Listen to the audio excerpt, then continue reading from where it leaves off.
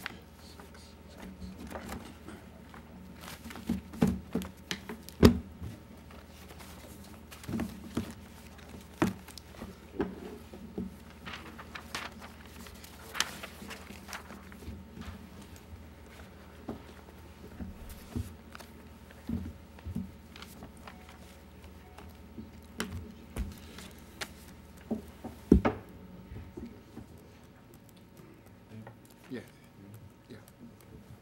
Yes.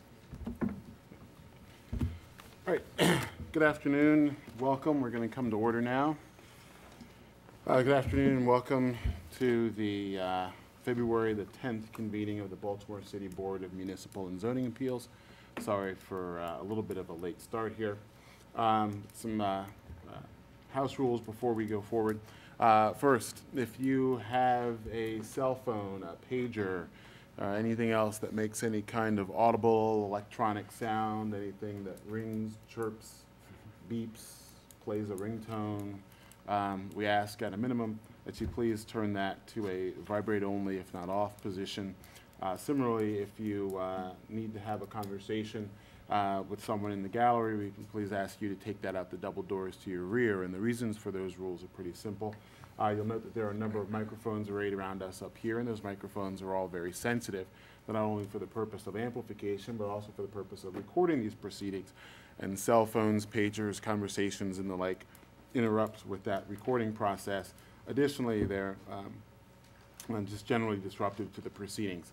Uh, Also, uh, you'll note um, behind us up here, there are two video cameras mounted on the walls, and those of you who are forward of the wall there, if you turn around, you'll see that there are one, two, three cameras on the uh, wall behind you. These proceedings are being recorded uh, for broadcast on the city's cable access channel. That's right after Wayne's World.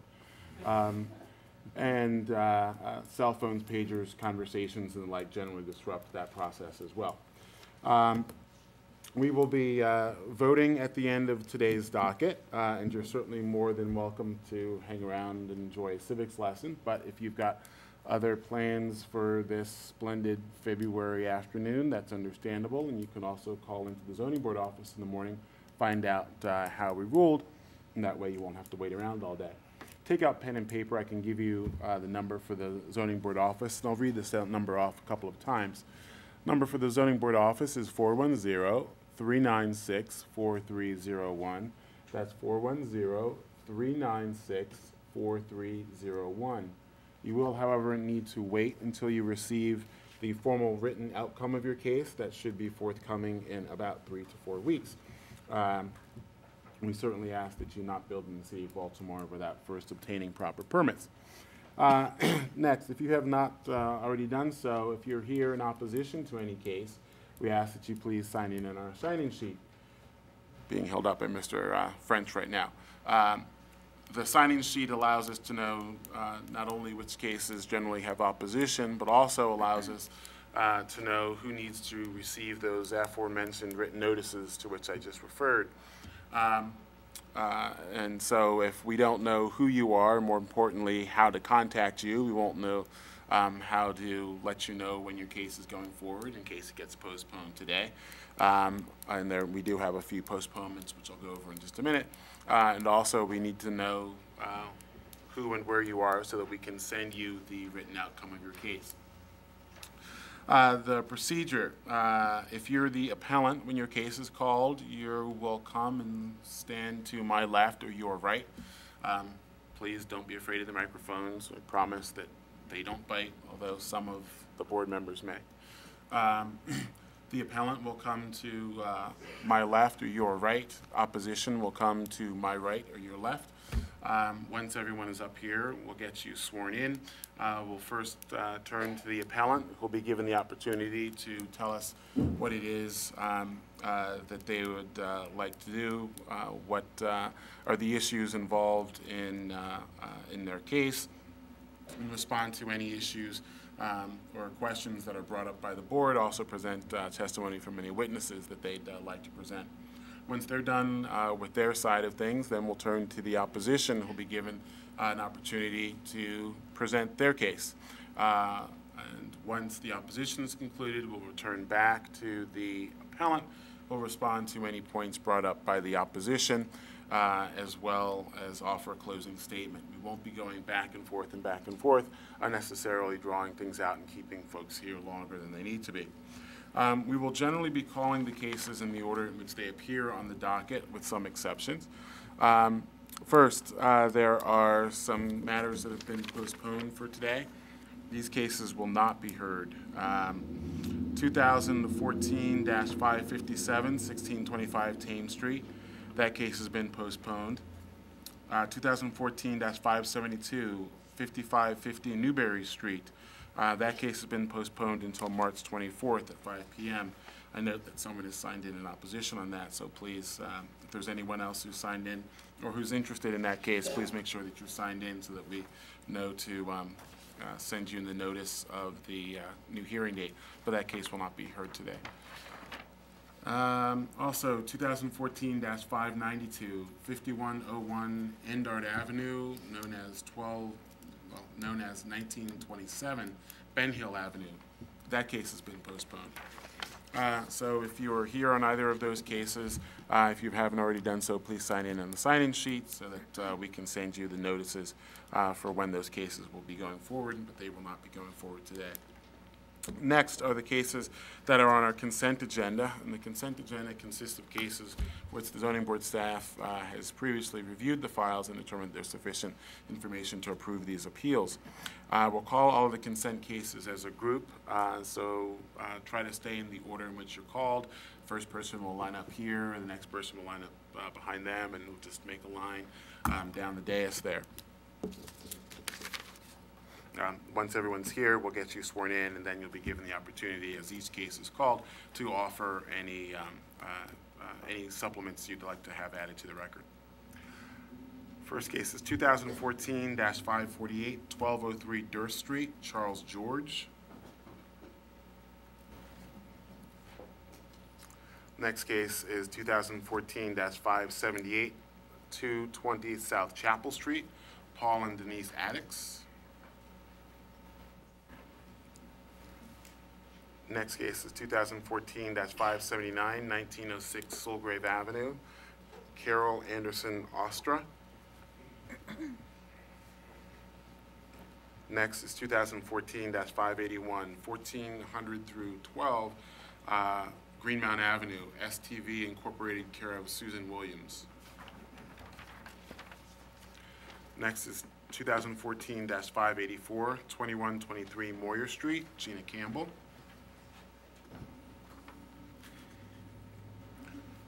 Next, 2014-587, 1133 Hubbard Street, Julie Tice. Next, 2014-591, 837 Park Avenue, James and Margaret Cox.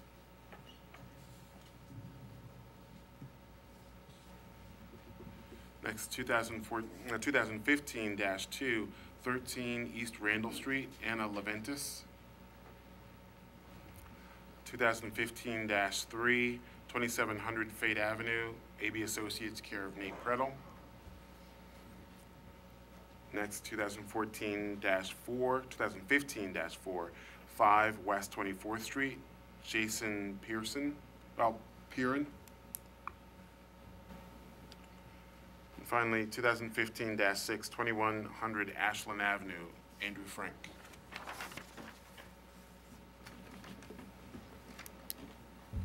Got that, everyone? Okay, can you all raise your hands and be sworn, please? Do you swear or affirm the testimony that you're about to give in this hearing will be the truth, the whole truth, and nothing but the truth? I do. All right, first case up is 2014-548, 1203 Durst Street, Charles George. Afternoon, Mr. George. Uh, We have this as an application to construct a second-floor rear addition with uh, new uh, third floor with rooftop deck, is that correct? That's correct. Okay. Uh, Mr. French, anything for the planning department? Martin French for the Baltimore City Planning Department. Planning Department has no comment on this application. Thank you. Thank you. And Mr. George, was there anything you'd like to have added to the record at this time? Okay. Zoning board staff, having previously reviewed these files, we found that there was sufficient information to approve your appeal. Thank you. Good luck. Next case, 2014-578, 220 South Chapel Street, Paul and Denise Addicks. Afternoon. Uh, We have this as an application to construct a two-story rear addition. Is that correct? Yes, sir. Okay. Mr. French, anything for the planning department? Planning Department has no comment on this application. Thank you. Thank you.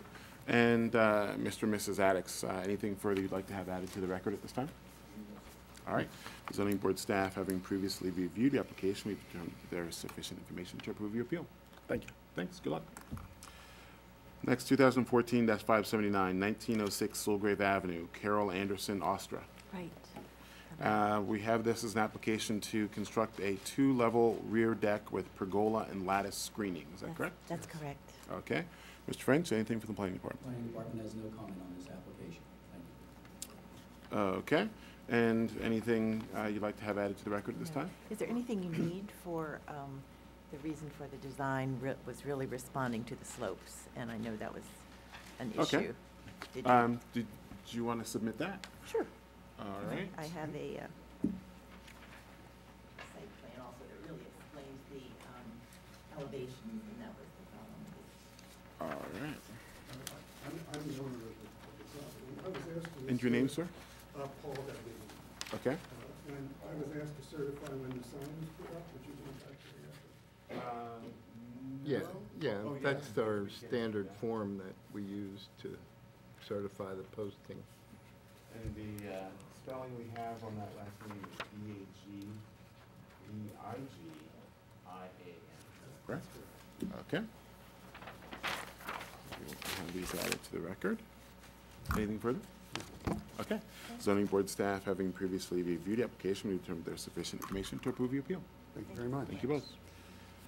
Next, 2014-581, 1400 through 1412 Greenmount Avenue, STV Incorporated, care of Susan Williams. Yes, sir. Afternoon, Ms. Williams. We have this as an application to construct, well, to consolidate lots, renovate the structure as artist studios slash maker spaces, cafe carry-out with outdoor table service, accessory to the cafe, and recreation and community center with classrooms, uh, with ID signs, including exterior graphics and 23 off-street parking spaces. Yes, sir. Is that correct? Yes, sir. Okay. Mr. French? Thank you. This property is located in the Greenmount West Urban Renewal Plan area. This property's site plan is being approved by the Site Plan Review Committee, January seventh, twenty fifteen.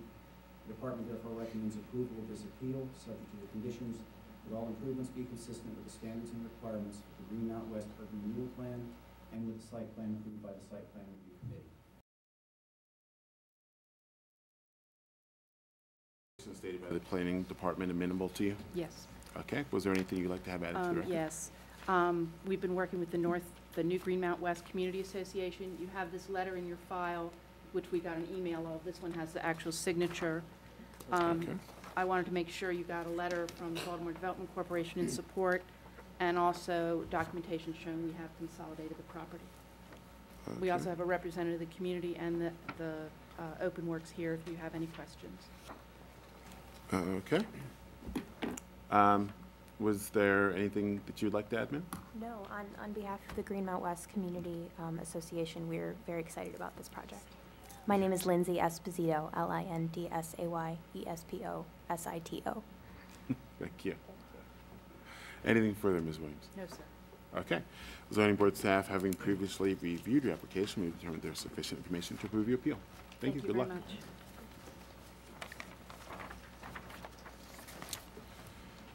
Next up, 2014-584, 2123 Moyer Street. Ginny Campbell? Yeah, I'm in his name. My Okay. name is Idan, it's I-D-A-N. Last name is T-Z-A-M-E-R-E-T. T-Z-A-M-E-R-E-T. A-M-E-R-E-T.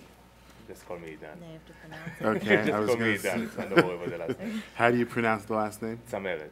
Zameret. okay? Okay, yeah, I try.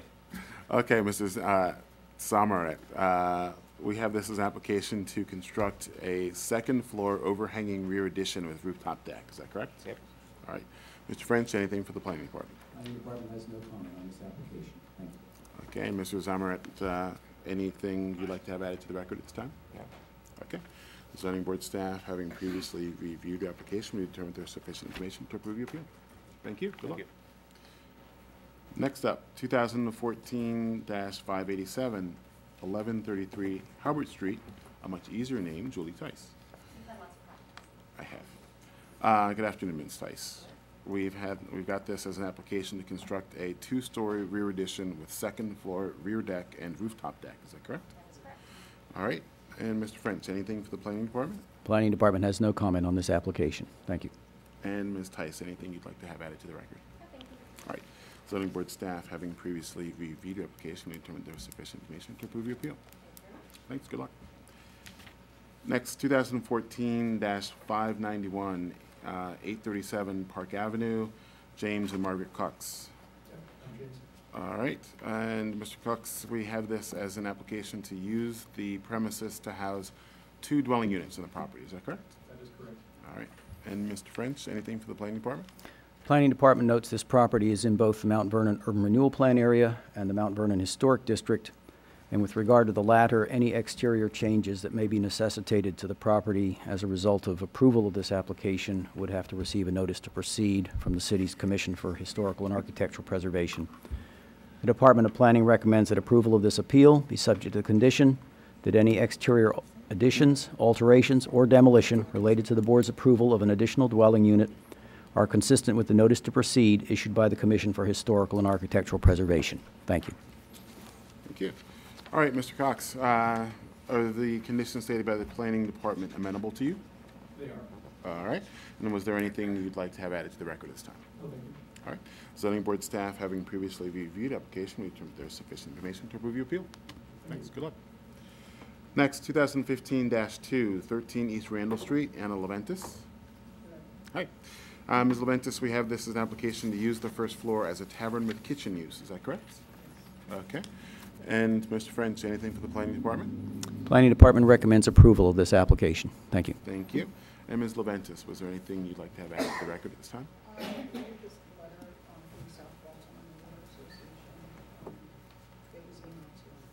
We have it. Okay, we already have it. All right. Anything else? All right. Zoning board staff, having previously reviewed the application, we determined there is sufficient information to approve your appeal. Thank you. Take care. Next, 2015-3, 2700 Fait Avenue, uh, AB Associates, care of Nick Prettle. Afternoon, Mr. Prettle. We have this an application to use the first floor as non-resident physician's office. Is that correct? That's correct. All right. And Mr. French, anything for the planning department? Planning Department recommends approval of this application. Thank you. Mr. Prettle, anything further I'd like to have added to the, uh, Just like to introduce Dr. Randy Hallman. Afternoon, doctor. And also, you should have a letter of support from the Canton Community Association. um, We do. Okay, thank. Okay, anything further? All right. Zoning board staff, having previously reviewed your application, we determined there is sufficient information to approve your appeal. Thanks, good luck. Next is 2015-4, 5 West 24th Street, Jason Pyron. Am I pronouncing that name? Pyron. Oh, good job. Uh, Mr. Pyron, we have this as an application to retain formerly detached one-story rear bicycle garage as an attached bicycle garage. Is that correct? Yes, sir. All right. Mr. French, anything for the planning department? Planning Department recommends approval of this application. Thank you. Thank you. And Mr. Pyron, anything further you'd like to have added to the record this I time? provide copies of uh, letters of support, if There's six Thank you. copies. Uh, The first one is uh, from my direct neighbor. I think we have all that. Thank you. I There read also one other one emailed at twelve thirty this afternoon from the president of the Charles Village Community Members Uh, Is that this one? Did we get Uh, no, uh, it was from Matthew Herman, I don't have a printer. Oh, okay. It was emailed to Mr. uh, Kennedy. We have that in the file? Okay, great, we have all that. Um, And we have these letters, David? Yeah. Okay. I can give these back to you then. Uh, Anything further, Mr. Pyron? No, sir. Okay. Zoning board staff, having previously reviewed the application, we determined there was sufficient information to approve your appeal. Thank you very much. Thank you. Good luck. All right, this next one, I'm going to recuse myself and pass it over to Lucky you.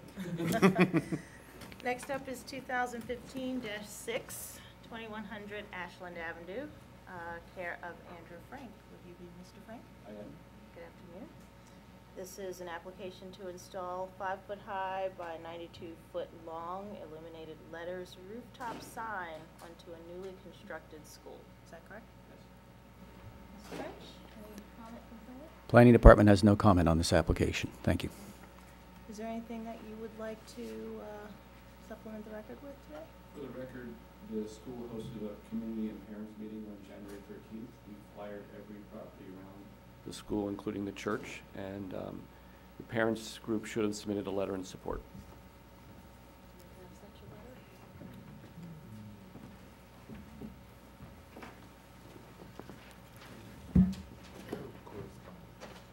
No correspondence. Is there a copy that you want to, I guess you can forward it later. We sent uh, snail mail. You should be Okay. getting it, yeah. We'll make sure it gets in there. Okay. Thank you. Okay, anything further? No. All right, well, uh, zoning board staff. right, the staff has already uh, reviewed your application and has determined that there is sufficient information in the record to approve your appeal. Okay, that concludes our consent docket. And the next group of cases, which we will turn to, uh, include cases where uh, opposition is signed in. Frequently, we found that opposition is the result of either a lack of communication or miscommunication between the parties. And it can be useful to offer the parties an opportunity to have a dialogue between themselves, see if they can't uh, resolve their differences. Obviously, if uh, uh, uh, two sides approach the board um, and ask the board to resolve a dispute, someone's bound to walk away from that uh, process disappointed. Uh, And this is your opportunity to avoid that unhappy fate. Um, I'll read off the cases where opposition is signed in. Uh, And as I call your case, you can just stay where you are, and I'll just ask you to stand. Um, We'll offer you an opportunity to have a dialogue. We'll see if you, the sides have spoken previously or not. Uh, If you would like to have a dialogue, that's um, perfectly fine, and we encourage that. Just step out the double doors to your rear, and if you get something worked out, or even if you don't, um, just uh, when you're um, done your discussions, just uh, come back inside, and we'll call you in turn. Um, If you do get a agreement accomplished, uh, when your uh, turn is called, we'll um, get you up here and put it on the record. Uh, First case where opposition is signed in is 2014-358, 4711 and a half through 15 Harford Road, Javin Spence. Uh, Okay, have you folks had an opportunity to have a discussion? You have? Um, Any opportunity for further dialogue be productive? No? Okay. All right, um, have a seat and we'll get to you in just a moment. Uh, Next case is, the opposition is postponed. Next, 2014-585, 201 through 31 South Conklin Street, Caroline Hecker. I guess they must be in the hallway. Okay, great, thank you very much, Council. Um, Next, 2014-590, 203 East North Avenue, Jose Taveras. Yes. Okay, and who signed in opposition on that? Okay, have you folks had an opportunity to have a dialogue? Okay, just let us know when you're ready to go forward. And 2014-595, 1800 and 1810 South Hanover Street, AB Associates, care of Nate Predel. I recall this one from before. I think you've spoken in the past. Any prospects for a resolution this time?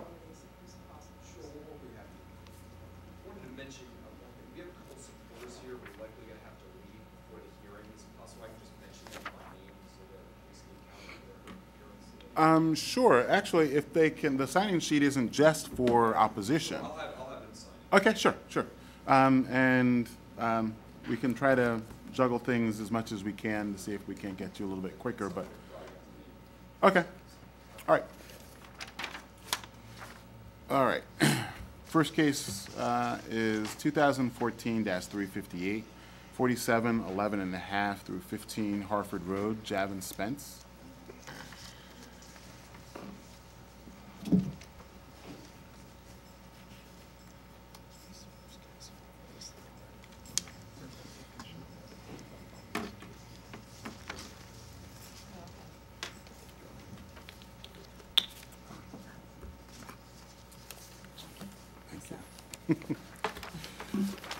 All right. All right, Mr. Spence? All right, we have this is an application to use the portion known as 301, well, 3001 Rosekemp Avenue as a garage other than accessory for the storage, repair, and servicing of motor vehicles, including state inspection, not over one and a half ton capacity, not including bodywork, painting, or engine rebuilding. Is that correct? The address is incorrect. It's, um, The address is forty-seven thirteen. okay, first of all, ma'am, what's your name? I'm sorry, um, Lynn Beebe, and, um, I'm the owner. Okay. B E E B E. And what was that address again? It's forty-seven thirteen Harford Road. I brought a, um, I was asked to, um, bring a site plan, so I did that. Okay. And Mr. Tanner, is that what you were going to refer to?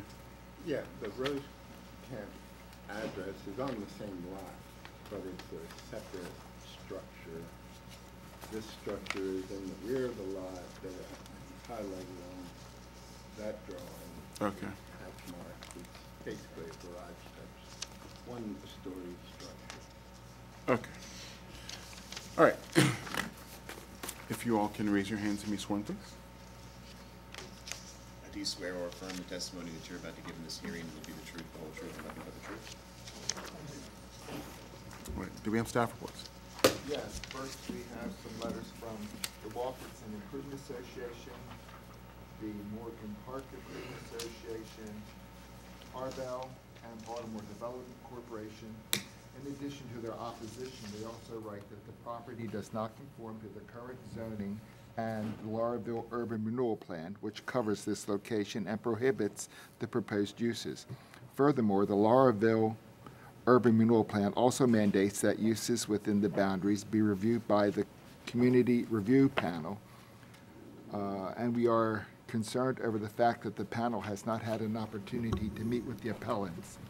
Well, since that time, the panel has met, and the panel, ha- panel has written, the Harford Road Community Review Panel, Within the confines of the urban renewal ordinance for the Lauraville Business District, the Community Review Panel has reviewed, discussed, and met with the appellant. We see no grounds for objection. Moreover, the panel agrees with and supports the recommenda- recommendations made by the Planning Department in their memorandum. That leads us to the Planning Department's recommendation. Nice to have an intro for once. Thank you. Uh, Planning Department notes this property is in the Lauraville, Lauraville Business Area or Renewal Plan area, and there are very specific uses which are prohibited by that plan, and that uh, is summarized in a memorandum which was made available to this board. On the basis of that list of prohibited uses, the department is recommending that approval of this appeal, if granted, be subject to these conditions in addition to any conditions the board may establish. One, the repair and servicing of motor vehicles will be limited to body repair and engine rebuilding, and there will be no automobile painting, automobile accessory sales, repair or installation, automobile glass and mirror sales and service, or similar commercial activity on the property. Two, that there will be no parking, staging, or storing of vehicles on public rights-of-way. Three, that there will be no parking or storage of unlicensed vehicles on the property. Four, that all work will be for- performed indoors. Five, that all materials, parts, and equipment related to the use will be stored indoors. Six, that the area used for temporary storing of vehicles at the rear of the property will be adequately screened by an opaque fence or wall, meeting the requirements of the Lauraville Business Area Urban Renewal Plan. And seventh, if a dumpster is used to collect waste and trash related to the use, The dumpster will be placed either inside the existing building or within a masonry enclosure having a solid lockable wooden gate. Thank you. Mr. French.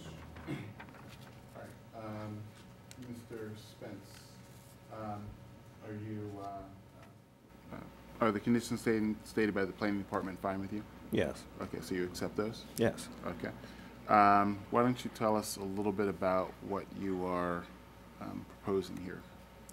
I'm just trying to start a business that's doing um, 80% Maryland State inspection, dealing with dealerships and just minor auto repair. I'm not doing no body work, no painting, no selling of accessories or anything like that. And all the work will be done inside. I've been there for like three years doing uh, wholesales with uh, automobiles, and uh, I have n- have never had a problem with the community until now. When I'm trying to expand Just- Just one at a time, one at a time. and and just I mean uh, that's basically it. I'm just trying to expand my business. Okay. Um, Ms. Beebe, if you can come up to the microphone now. Just be careful, of, uh, the mic that's right there. Um, you were gonna say? I just was gonna say that Mr. Spence has been, um, a tenant for, um, he's now entered his fourth year. And, um, he truly has been exemplary, um, tenant. And none of the neighbors have complained. Um, in fact, the local businesses, Truex, which is also one of our, there's like total of eight properties in that little area. And no one objects to the work that's being done there because he keeps the area very clean. Okay. Um, And I do have pictures of the building if you'd like to see. that actually might be very useful. Okay, so, um, I think we might have those pictures, but they're in black and white, and they don't really come out well.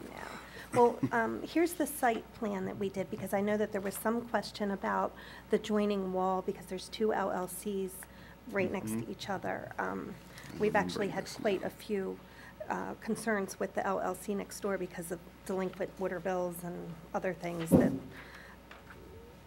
keep coming on our, ad- you know, we keep getting them on our address when it's clearly not ours, and, but I think we finally got that straightened out. Um, But if you look here, that's a visual, but I think these pictures, um, this is the front of Harford Road, right here. So we own um, this to here. This is, um, this is the house, 3001 Rose Kemp. Mhm. This is the gated area that Javon does keep cars that he's working on, but there's absolutely nothing but cars in his gated area, Is and that it's on this our property. portion that's right here? On the aerial? Yeah. Okay. And, um, let's see, it's, here's, the here's a good picture of the warehouse. So it's very, it lends itself very well to that kind of work. It's, it's a warehouse. My dad Yeah. Had it as a plumbing company. He actually built it back in the seventies. Okay.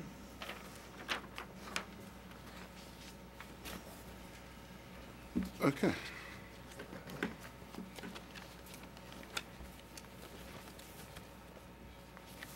And you guys need to see any of these photos? I'm gonna imagine that you're familiar enough with it, though. Okay. Okay, anything further? Mm-hmm. All right, Do you want these to become a part of the record? No, I can make a copy and mail it to you. That's fine. But you do have this, correct? This is the site plan? yes, we've got Okay. that. We'll keep that, as well as the revised drawing. Um, I'll turn to your opposition now. Um, Do you guys have copies of the submitted um, site plan? Again, I'm imagining that you're probably, last year, I don't think Mr. Kirk's okay. Here- Here's, um, here's actually one that my husband did, that is the aerial of all the properties. I don't, we're not disputing ownership of the property, which was a question in the last hearing. Um, Okay, so you can just state your name for the record, please? I'm Mike Hilliard, I'm the Community Services Director and the interim Executive Director of the Cargill Community Organization. Um, Moravia Walther Improvement Association, which is the affected community, under president, Bob Kirk, is here today, um, still opposes this use. Um, I would note that respectfully disagree with planning's interpretation of the urban renewal plan. Um, In my 10-year tenure at Harbel, this is the first time um, the urban renewal plan has ever been interpreted to permit automotive uses except those that were grandfathered in prior to the implementation of the plan. Um, But Moravia Walther has other, other issues which Mr. Kirk will um, be happy to express. Come forward, Mr. Kirk. Hi, again, my name is Bob Kirk, and I'm president of Moravia, of Moravia Walther Community Association. Um, We understand um, and um, respectfully disagree with planning's uh, decision as well, uh, granting this, because we were under the impression that, um, according to the URP, that it would not happen. And we have said that. Um, I must add that during the last CRP meeting, uh, I was unable to um, attend due to an emergency uh, and was not able to express uh, our community association's uh, views that we disagree and will uh, attempt to follow up uh, with that to at least express our viewpoint. Um, We understand planning has already granted approval of this, and, uh, and we just wanted to express uh, um, my community association, which is directly involved uh, in Rosekemp. Uh, We're a community association that encompasses about 225 houses directly involved in that. Um, Also, if um, in your voting that um, you agree to grant this uh, proposal, uh, we respectfully ask that you um, go with the um, seven conditions that uh, the planning document uh, dated 12, December 11th indicate about vehicles and so forth. Um, um, Myself uh, and uh, another business representative walked over there yesterday, and uh, we respectfully again indicate that uh, we strongly feel that number three of the conditions of uh, no parking storage of unlicensed vehicles on the property. Uh, There's currently five vehicles untagged uh, on the property that are visually there uh, at the moment. Um, One of them uh, had several flat tires there, and there is a prop, there is a property, 3103, I believe, directly within 25 feet of this business where the residents start on Rosekemp. Uh, And uh, we therefore oppose, uh, you know, uh, ask that these conditions be implemented and we be giving, given a mechanism that when uh, we as a community association see that they're not, that we have somewhere to go with this. Uh, Again, uh, understanding that this may be approved because planning has, and we, again, respectfully oppose this. Thank Okay. you. Um, Mr. French, um, if the claim has been made that there's been some change in planning's interpretation of the um, applicable URP, um, if you can address planning's view of the issue. All right, thank you. The urban renewal plan contains a list of prohibited uses in uh, one of its sections concerning the uses that are permitted and the uses that are prohibited. It does not specifically mention the zoning code category garages other than, other than accessory for storage, repair, and servicing of motor vehicles not over one and a half tons capacity, including body repair, painting, and engine rebuilding. Because it does not specifically mention that use, the plan does not restrict that use directly. However, indirectly, it does limit that use because the plan has specific prohibitions, which were incorporated in the recommended conditions, prohibiting automobile accessory stores, including related repair or installation service. It prohibits automobile glass and mirror shops. It prohibits automobile painting shops. And therefore, basically, what the planning department is doing is separating out from the larger category that's in the zoning code, the portions of that category that could not be approved under the urban renewal plan. And on that basis, we're recommending the specific restrictions that I've stated previously. Um, And uh, if I understand the process, uh, with respect to this appeal, there was a presentation before the community review panel. Um, And then the panel said that they, kind of ambiguously worded, we see no grounds for objection. Um, And then they say that they agree and support the recommendations made by the planning department. Um, Mr. Stoser's uh, um, memo, is that the same one That's that the memo that from? they're referring to, I believe, yes. Okay, all right. Okay, anything further? Okay. Um, Mr. Spence or Ms. Beebe, you have anything to say to conclude? No, not, I mean, it came past yesterday, my neighbor told me it came past, and it's, it's gonna be like, you know, temporary storage of cars if I'm working on them. And they probably caught, it came past and saw a couple cars, I'm doing cars for dealerships, they're not gonna have tags on, but the, the dealers, they come right and pick the cars up. It's just temporary storage, like, and I have my own lot, lot. Ten cars. Okay, when you say temporary, what's? I mean, like a day or two, you know, just until I inspect them or check them out, that's it. Okay, anything further? I have something I'd like to add. Yes, ma'am. Um, I just wanted to add that before we went into a lease agreement with Mr. Spence four years ago, um, we did meet with Baltimore Development, Kristen Mitchell. We were concerned because, you know, the last thing we wanted to do is get him in there and then something go wrong. And, um, and I know that Javon has had conversations with them as well, as well as Regina. Um, so, you know, we tried to do the right thing, up, you know, four years ago, uh, before we even considered having him move in, to make sure that everything was fine. Okay. Thank you very much. Good luck. Thank you. Thank you.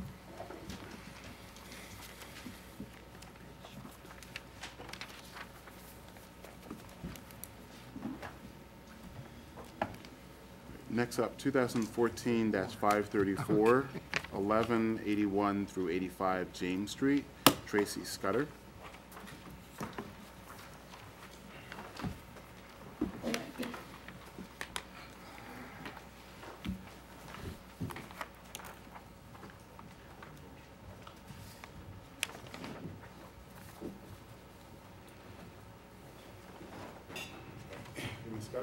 Yes, sir. Scudder, we have this an application to consolidate the lots, use the entire premises as a multi-purpose neighborhood and education center, is that correct? Yes, sir. Right, if you can raise your hand, you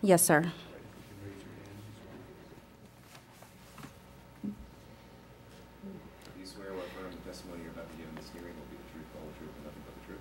Yes, sir. And sir, your name is? Samuel All right, Lady, but I'm fast. My cousin. understood. All right, do we have staff reports? Uh, yes, we have a letter in opposition from a resident at the twelve hundred block of Glendon Avenue, Glendon Avenue. Uh, At the community meeting regarding this request, there was not clear direction about exactly what the plan is for in this building, just a general idea. Seeing the plans makes me concerned for what this may, may come of this. We already have two community centers under one mile from this location. I have concerns about parking. One side of this entire block has no parking due to the fact that it backs up against Sargent Street. And so, it is the driveway access for all the homes on that block. This area of James and Ostend has a lot of illegal activity, and my concern is that this will be a place that gives people a legitimate reason to hang out and create more havoc on our community. There was no plan for security and safety of the residents. How will foot and car traffic be handled? We wish to keep this area intact as residential and not to see it cut up into tiny areas with mixed uses, corner stores, liquor stores, etc. And we have the planning department's report. Thank you. Planning Department noted that the uh, current use of the property is a non-conforming commercial use. This is an R8 General Residence District zoned property.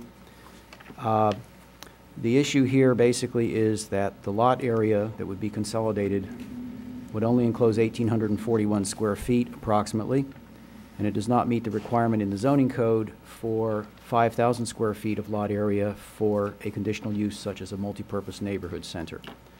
The issue then is that the amount of variance of the required lot area would exceed the 25% maximum discretion that is allowed to the board by the zoning code. For the basic technical reason, therefore, the Department of Planning recommends disapproval of this appeal because the amount of lot area variance that would be required for approval would exceed the discretionary authority provided to the board in the zoning code. Thank you. Thank you. Okay, Ms. Scudder, um, why don't you tell us about what you're proposing here, and um, I guess we can get to what planning has to say in a moment. Okay. Um, well, the applicant in this matter is Friendship Apostolic Church of God, and the pastor of the church, um, Samuel K. Scudder Jr., is present here next to me. Uh, the subject property is um, located in the R8 General Residential Zone. Um, it's located in the herbal, urban renewal plan area. Um, and it's uh, being retained under the same zone of R8 under the new zoning code, and thus we believe that the use that we are contemplating for this location has already been contemplated under the new code. Um, as Mr. French mentioned, these um, two lots do not meet the minimum lot area requirement. They are exceptionally small lots, even though this is a corner property. The two lots, one Lot 129A consists of only 711 square feet, and Lot 130 consists of only 1,131 square feet, so for a combined total of 1,800 square feet for these two lots. So as you can tell, they are exceptionally small, really for anything that would be proposed at this location. I have combed through the zoning code and looked at all kinds of uses that are, are per, would be permitted there, and really on a, from a commercial perspective, nothing would work at this location without variances being granted as to the minimum lot area. It's, it's just, these lots are just, you know, inherently small. Um, the applicant has been pursuing the proper channels to bring this neighborhood center online. It would be a meeting place for persons who are involved in outreach in the Pigtown and immediate surrounding areas. Um, it would not only provide meeting space for volunteers and staff of the center, but it would also provide a place uh, to hold um, meetings with the clients that the uh, outreachers are servicing. Um, it would provide a place for them to have um, counseling sessions and speakers um, as well as you know social events that people in the community can par- partake in. And when I say social events, I don't mean parties. I mean you know activities for people that they are providing outreach to. Um, so. This building has been um, vacant for some time now. Um, I attended the most recent Pigtown Association meeting in January. Um, that's a very active community, as you all know. There are a lot of uh, members there, and there was a police report that was given. And one of the things he said was a big problem in Pigtown is that there are a lot of vacant buildings. And this building was a, you know, it's a vacant building now. It's boarded up, and the police reported that it's a problem because you know, people enter the building and sometimes fires are caused um, because people are rigging the wiring to get electricity. Um, in fact, that's that was the situation when the church bought the property. There were squatters in the building that had just somehow gotten in and taken up residence, and um, we had to go through quite a lengthy court process to get them out. But they were living there with no electricity. Um, BGE had a open, is it BGE? Had an open fraud case because people were just, you know, somehow rigging the system and getting illegal electricity. Um, so at any rate, um, we are here to um, request um, two variances, one with regard to parking, um, which this board has previously approved um, for um, a previous applicant back in 2011, I believe, um, there was an applicant that was proposing to do a convenience store at this location with two dwellings on top, and the board granted 100% variance as to parking. And so we would request that same variance for the neighborhood center. Um, This is not going to be a high-generating traffic use. It's not like, a- when we say neighborhood center, we don't mean something, you know, akin to maybe a YMCA.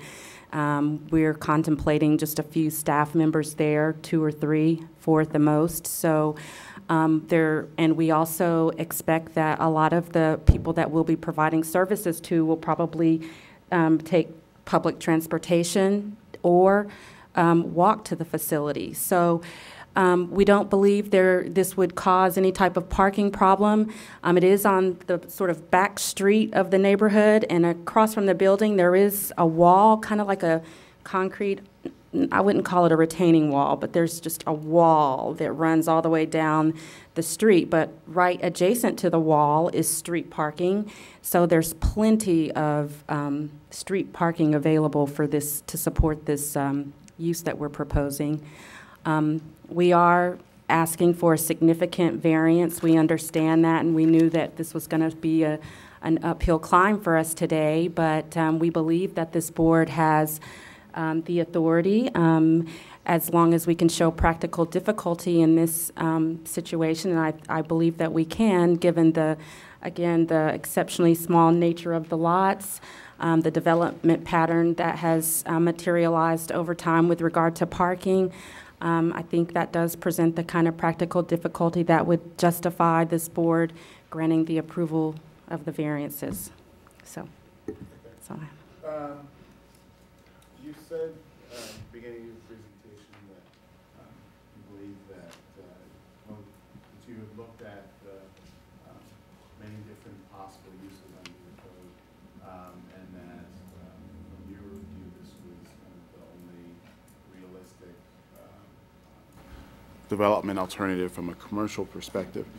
Um, Did you mean that um, this commercial use is the only realistic use, or that this use is really the only possible use, whether you use it um, commercially, whether you use it residentially, what have you? Um, I believe the only use that would not require variances by this board would be um, if it was a single-family home. Um, Even other residential uses like multifamily dwellings would require a parking variance. So, again, I can only think of one use that would be outright permitted um, at the location, and again, that would be single-family. I see that the prior history, Dave, is that correct? We've got it as uh, contractor shop? Yeah. Well, the board approved two dwelling units and a convenience store, that never. Yeah, they never got their, you never, their um, They were never able use and to occupancy permit. complete that job. Was there any work begun on it? Not to my knowledge. I don't know for sure. Um, And Ms. Scudder, did you look at it as, uh, with the possibility of basically doing what was done before? Um, The, uh, the, it's, it's, uh, use the first floor as a convenience store and the second floor is two dwelling units?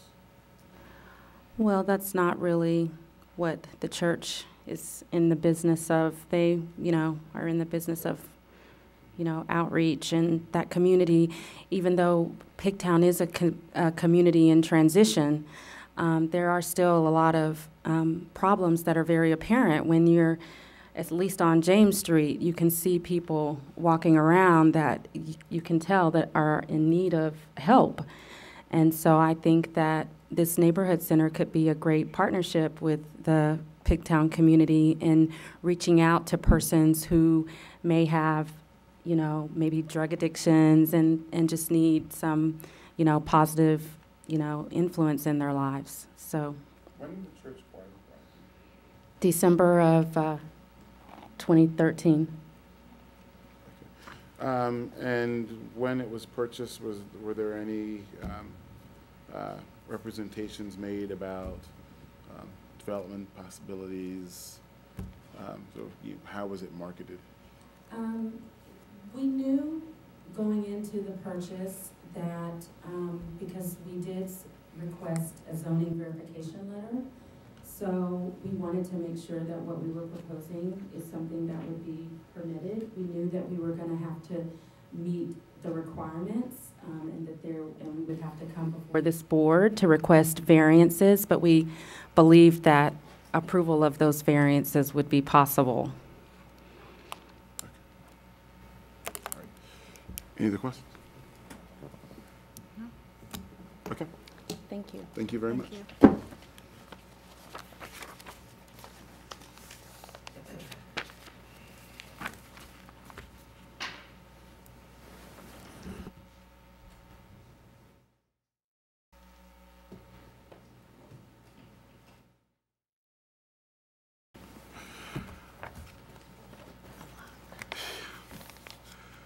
Um, Postponed, postponed, consent, consent, consent. Next one up. Um, 2014-582, 13 through 19 South Chapel Street, AB Associates, care of Nate Predel. Call that together with 2014-583, 25 through 31 South Chapel Street, also AB Associates, care of Nate Predel. Afternoon again, Mr. Predel. Afternoon. Um, We have, as to both of these appeals, the requests are to consolidate the lots, subdivide into three lots, and construct three new, three-story attached, single-family dwellings with lower-level front accessed for, uh, one-car garages, second-floor rear decks, and rooftop decks accessed from fourth-floor penthouses. Is that correct? Uh, That is correct, although the application's been slightly modified, and I can explain the changes that have been made. Okay, we'll get you sworn in, and then we'll uh, address those changes. Okay. Ah, that's right, you were already sworn in, so, staff reports. Uh, First, we have a letter from Butchers Hill Land Use Committee. They write that the appellant and architect submitted amended proposal. The appellant has also been informed us that the developer has received support from the property owner of 23 South Chapel Street, but has not been able to contact the owners of 21 and 11 South Chapel Street. Due to the close proximities in this block, we encourage the developer to communicate with these owners and discuss the uh, design and construction of the project. With these provisions, the Land Use Committee feels the proposed new townhouses will be a welcome improvement to the neighborhood. We have received a letter from a resident at 1936 East Lombard Street. He writes, "Due to work conflicts, I will be unable to attend the February 10th, 2015 meeting of the Board of Municipal and Zoning Appeals. I ask this letter to be entered into the public record in relation to these two cases. I have had an opportunity to review the design plans at a February 9th, 2015 meeting. I have no objection to subdividing eight lots into six. The current lots are narrow, and this is a reasonable request. It is unfortunate that so many front doors and stoops will be replaced by garage doors. This will severely change the str- streetscape, but the benefits brought by increased off-street parking are likely worth this trade-off, and I have no objection to adding six garages to the street. My only significant concern relates to the overall height and massing of the buildings on such a narrow, one-way street. The developers propose demolishing two-story row homes and replacing them with much larger three-story row homes with a fourth-floor roof deck and roof access penthouses. This is not a reasonable request. The total overall height of the proposed townhomes would be similar in scale, should be similar in scale to the existing townhomes on the street and the immediate vicinity. The proposed townhomes are similarly sized to those put on the 200 block of South Ann Street, but South Ann Street is a two-way street with parking on both sides. It is not a nine-foot wide street with no street parking. Can fire equipment that would be needed to fight a fire in these buildings so that height navigate, navigate that block of South Chapel Street.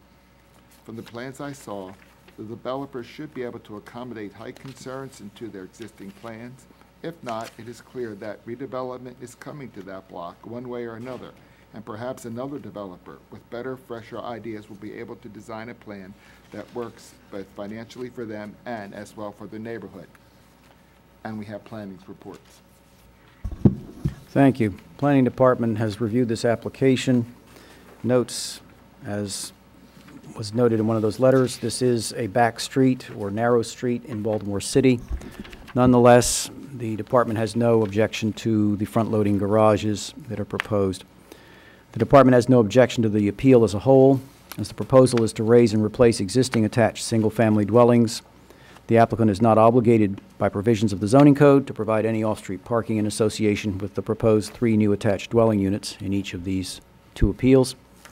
If the application is approved by the board, the approval should be subject to the conditions that the proposed site plan be approved by the Department of Planning and the proposed subdivision be approved by the Planning Commission. Thank you. Thank you. Okay, Mr. Brettel, uh, are you mean, are you amenable to the uh, conditions stated by the planning department? I am. All right. Um, And why don't you touch on the revisions that you uh, had referred to, and then also um, uh, let us know what's going on Sure. with uh, this proposal. Sure, I'll give you a brief overview. So, uh, I'm Nate Predel, AB Associates. I'm here on behalf of the Donovan Development Group. We're the property owner of these eight parcels on South Chapel Street, and that represents about fifty percent of the total parcels on here. There's four. It may be helpful, actually, to look at this block plat with the properties highlighted. It's four, two in the middle, and then another four. Our proposal is to demolish the existing structures, which exist on six out of the eight parcels. Two of them are vacant consolidate the lots and re-subdivide into two groups of three, so six total. There would be new three-story, single-family attached dwellings with front-loading garages.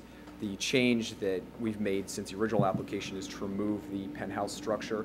There is still a roof access structure, but that was done within the guidelines of the Butchers Hill Neighborhood Association. They requested a 75-foot stair access structure, which is what we provided after several back and forths. Um, One of the issues that came up in that letter has to do with the front-loading garages. This was essentially a condition from Butchers Hill that if we're doing new construction, we provide parking to ease the parking requirements in the neighborhood. So, and um, when I get into the variances, that, that'll play a large part as well. Uh, Which I guess I'll mention right now, that we are asking for two variances, one for rear yard setback. We're providing a 17-foot rear yard in, um, instead of an 18-foot 9-inch requirement and we're providing seventy-two percent lot coverage in, um, instead of the sixty percent requirement. I should mention that both of these are less than what's provided here. The existing structures go within, it varies between five to ten feet of the rear yard and cover closer to eighty to eighty-five percent. So we're providing, um, a relief in that sense. We're also providing parking, which the addition, um, the existing houses did not provide any parking. We're meeting the zoning requirements in that. With consolidating the lots, we're also meeting the city's 16-foot uh, minimum dwelling width, which the original structures did not. So in my opinion, these structures are bringing all the homes into compliance with the bulk regulations of the zone, and the density regulations of the zoning code as well. I should mention, we're at two less houses. We've um, done significant community outreach. We have the support of the neighbor at 23 South Chapel Street. We have the support of the Butchers Hill Neighborhood Association. We've attempted to contact some of the other property owners on the street. I think there's only one owner-occupied structure on this block of Chapel Street. So um, we haven't had any luck with that. The uh, property, the new properties are unique in that the 16-foot dwelling width is unique to Chapel Street. They're also unique in that we're right across the street from the St. Michael's Roman Catholic Church, which you know what other uh, properties are in this area. The hardship stems from the fact that we were asked to provide parking, and fr- frankly, we wanted to provide parking on the first floor, which the original houses did not have, which caused us to seek a little more floor area, moving the houses back towards the rear lot line. So that's where I'd open myself up to any questions at this point.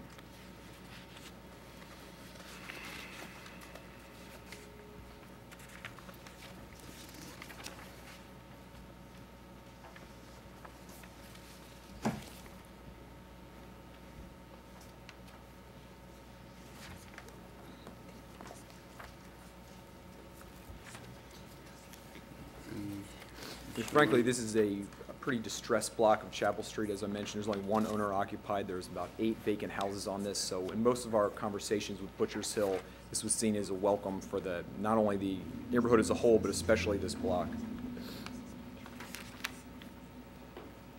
So there's gonna be a total of three bedrooms? Correct.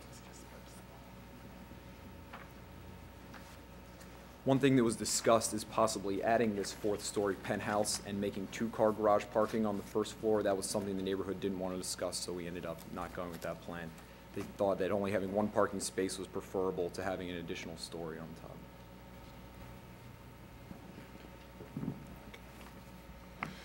All right. Questions? All right, thank you. Great, thank you.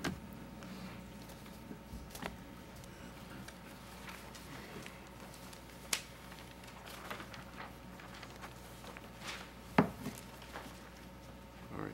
2014-585, 201 through 31 South Conklin Street, Caroline Hecker.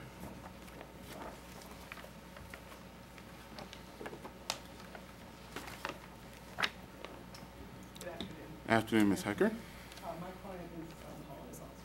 Okay.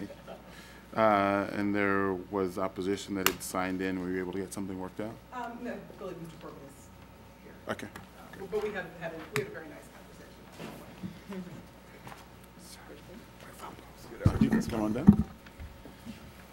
Sorry. Uh, Caroline Hecker, Rosenberg Martin. I'm joined by my colleague Justin Williams and Chris Taylor, a representative of the applicant Urban Phoenix Holding Corporation. Okay, and Ms. Hecker, we have this as an application to subdivide the lot, retain the church and one school building on the, on the one lot, use the former second school building as 26 dwelling units and two efficiency units, including 10 off-street parking spaces. Is that correct? Yes, that's correct. Okay, sir, your name for the record? William Corbin. Okay. All right, if uh, all those giving testimony can raise their hands and be sworn, please. Do you swear or affirm the testimony you're about to give in this hearing will be the truth, the whole truth, and nothing but the truth? Yes. All right, do we have staff reports? Uh, yes, first we have a letter from the Highlandtown Community Association. They indicate that they are in support, provided an MOU with the eight items is agreeable to the applicant. Should the applicant not agree with the MOU, then they would ask that the appeal be denied. Do we want to go over the terms of the MOU? We've signed the MOU. It's, you should have a signed copy of it. Okay. And then we have planning's report. Is that a part of your uh, packet? It is, yes. Okay, thank you. Planning Department notes that this proposal is to convert an existing building into residential units. The amount of lot area that would be required under the proposal as provided in the application would be something that would require a variance of 28%, which exceeds the board's discretionary authority of 25%. The amount of the difference basically is consisting of one dwelling unit. Therefore, the department notes, by way of suggestion, that if the application was amended to provide for 27 apartments rather than 28, being two efficiency units and 25 dwelling units, then that would bring the amount of lot area variance required within the board's realm of discretion under the zoning code.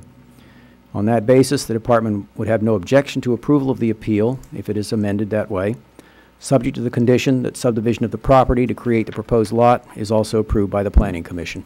Thank you. Okay. Um, and Ms. Hecker, I think the breakdown here is over the one dwelling unit, is that correct?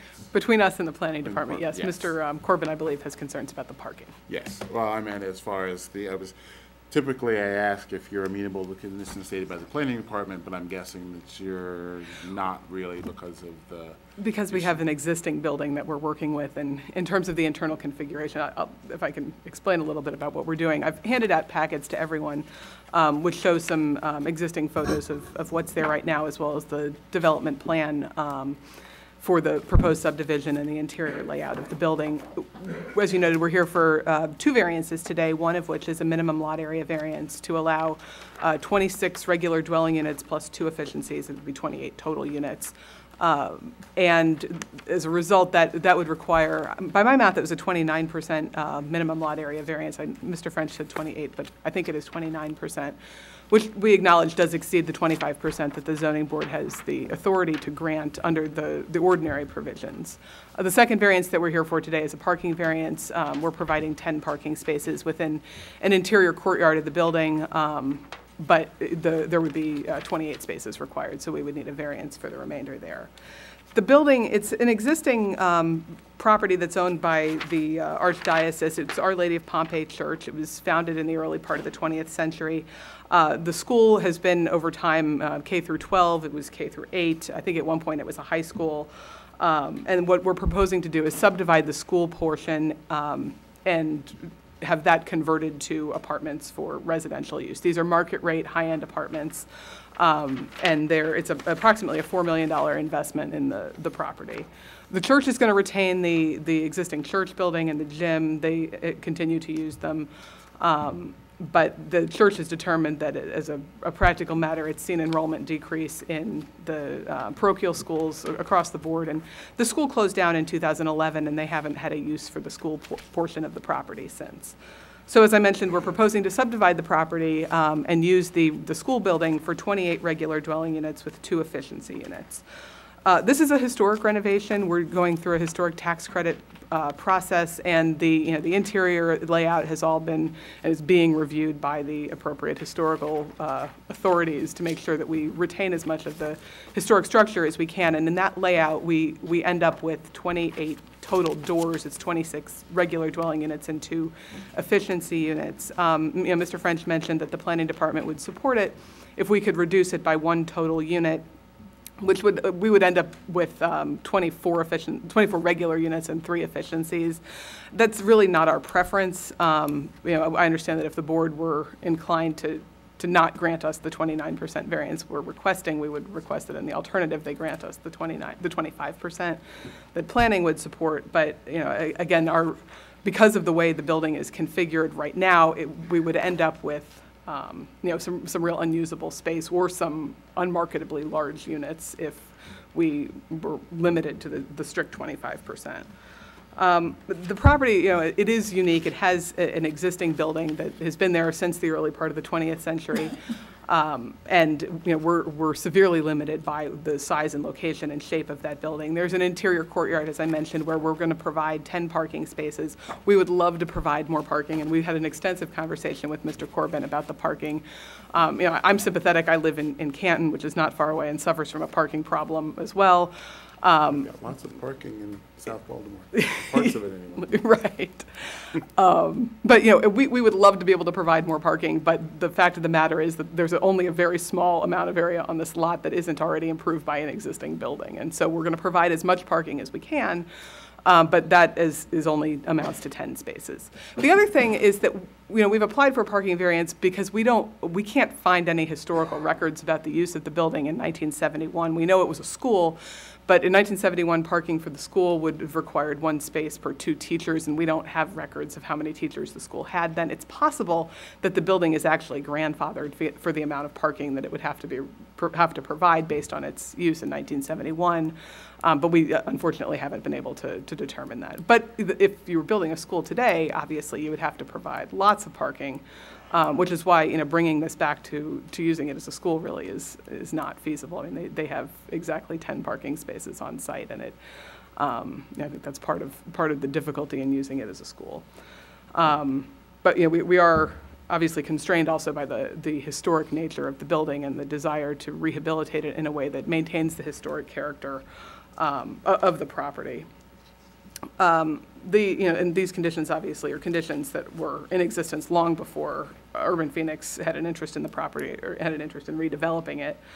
Um, And, you know, a- again, this is really based on a desire to be able to use the entire building um, in the most uh, efficient and and feasible manner. We, you know, like I said, we can't expand the parking lot when we, if, when we've designed the interior to accommodate the historic standards. Um, Again, this is a a $4 million investment in the community, which is significant, particularly in this part of town, which is, um, you know, we- we had a long conversation with Mr. Corbin about the crime that has been in this community over the last several years. And this, this redevelopment really is going to bring new life to, uh, to the neighborhood and bring new residents who, you know, want to be there. These are, again, these are market rate rentals. Um, We think there's a high demand for people who are going to live there. Also, in your packet, you'll see that there's an article from ABC2 um, News, which was, was a thing on TV and a- an article online um, that, you know, explained how, how excited most of the community is about having, uh, having this property redeveloped. It furthers the mayor's goal of uh, adding 10,000 new city residents. It'll bring uh, hopefully at least 28 new people to the, the area. And as Mr. French mentioned, or excuse me, Mr. Henry mentioned, there is a letter um, from the Highlandtown Community Association in your file, which includes eight conditions that we've agreed to. It's a memorandum of understanding. There should be a signed copy in your file. We're agreeing to provide security cameras on, um, on the sides of the building outside. We're installing exterior lights. Uh, We're we are agreeing to maintain our dumpsters as shown on the plans. Uh, We are supplying a point person for the um, Highlandtown Community Association to contact. We're installing trash receptacles. Uh, We're expanding the tree pits. We're limiting the amount of signage that will be on the building, and we have agreed to make ourselves available to meet with the community association within three days of any request that they make of us. You know, particularly with regard to the lighting and the, the um, cameras that we're installing, this really will improve public safety in this area tremendously. Um, And, you know, we're sympathetic, like I said, to, to Mr. Corbin's concern, but we think that there are trade-offs to be made. And this is a case where, you know, the, the, the new folks who are going to move into this apartment will bring some vitality here. And you know, the alternative is that we're going to end up with a vacant structure that um, really isn't, isn't usable. If it can't be redeveloped, um, if, if were limited to the 10 parking spaces that we had, it would be 10 units, which is really un- entirely unfeasible. Um, But even if it's eh, limited to the 29, uh, the 25%, you know, we, we really feel like a, a- the better and more, more efficient use of the existing historic structure is to allow that one extra additional unit there. Um, Okay, on the um, number of units. Yes. Um, I looked through your submission and um, you say that the board is ordinarily restricted to twenty-five percent um, limitation on variances, but then there's the unusable lot um, uh, um, provision. Um, Now, in order for the lot to be unusual, well, unusable, it would have to be unusable for any purpose. Um, And so are you saying that if it were to be twenty-five dwelling units and two efficiencies, that that would be unusable, It would be less usable. Um, but not unusable? Parts of the, a portion of the building at least would be unusable. Okay. Um, because, well, um, and if I heard your presentation correctly, you sort of presented it as an either-or scenario, that, well, if the board wasn't inclined to do the twenty-nine percent variance, the board could grant the twenty-five units, which would be within the twenty-five percent variance limitation.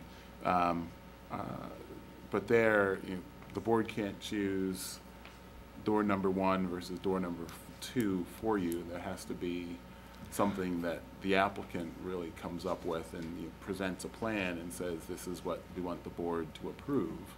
So it's really kind of incumbent upon the applicant in this, in this scenario to tell us which door you're choosing. May I have one moment? Sure.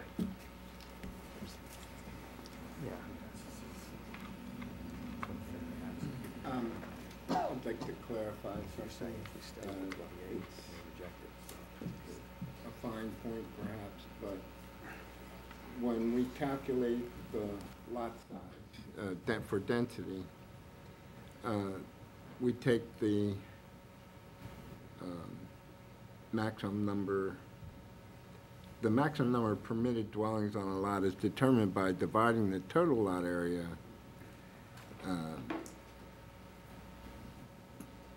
that by the lot area requirement that applies to the district. In an R eight, it's seven hundred and fifty square feet per dwelling unit. However, if there's three or more, uh, a fraction of the total area, that is fifty percent or more, uh, counts for an additional permitted dwelling unit. So I believe the calculations that were done did not take that into consideration. So applying that fifty percent to, for fractions of lot area, uh, for twenty-six dwelling units and two efficiency units, the um, variance required would be twenty-seven point eight. Uh, For 25 dwelling units and two efficiency units, it is 25%. So it's a difference of 2.8% in between, for one, for that one dwelling, because it, you can take a fraction. So I know it's, it's, you know, we may be splitting hairs, but I wanted the board to have the exact figures. Thank you. Okay. Ms. Hecker. I believe my client went outside to discuss your concern with Sure. his business partner. Perhaps we could hear from Mr. Corcoran in return to this. Uh, sure. Okay. Um, My concern is, is parking. Mhm. Now there, there's the, the surrounding neighborhood, you know, I live in the block directly across the street from the Prosel. And Prosel's very nice, you know, the lighting, the cameras, like, it's great, but there's not enough parking now. Um, and at least part of it, speaking for myself, um, I work three PM to eleven PM, and I come home that late in the evening. And a lot of times, not that I don't need the exercise from the walk, but parking four, five, six or more blocks away, especially depending on the weather, like last night when I got home, it was icy. You know, taking a chance on slipping and falling. Um, you know, plus you've got at least two to four spaces that could be freed up on every block by removing the no stopping from here to the corner signs. Um, I understand that on certain corners you have the fire hydrants, and I'm all for the fire hydrants staying right where they are and not being blocked. But the other concern is, is when the church has a funeral, they put cones out the night before and will block off anywhere from three to four parking spaces right directly in front of the church. And when they're having mass, I've observed that most of the people coming to mass for services are elderly and a lot of them have walkers or canes. So they can't park very close. So that's another concern. Um, and I, I know, and there have been times when, say, late in, the like on a Sunday evening, for example, I think of something at the last minute I need to run to the store, and I don't because I'm afraid when I get back, I won't have any parking.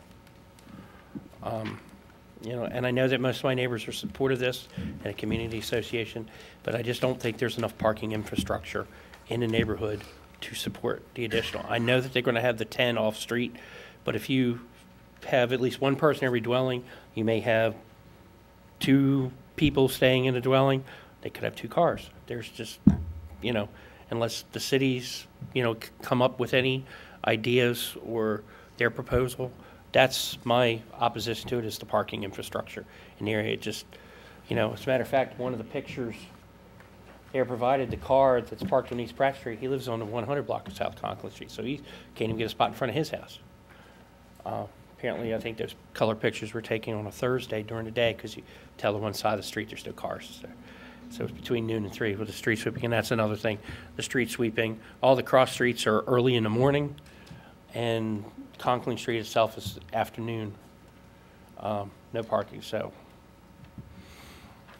But, you know, that's my opposition, is the, the question of the parking infrastructure. I can respond briefly. Um, sure.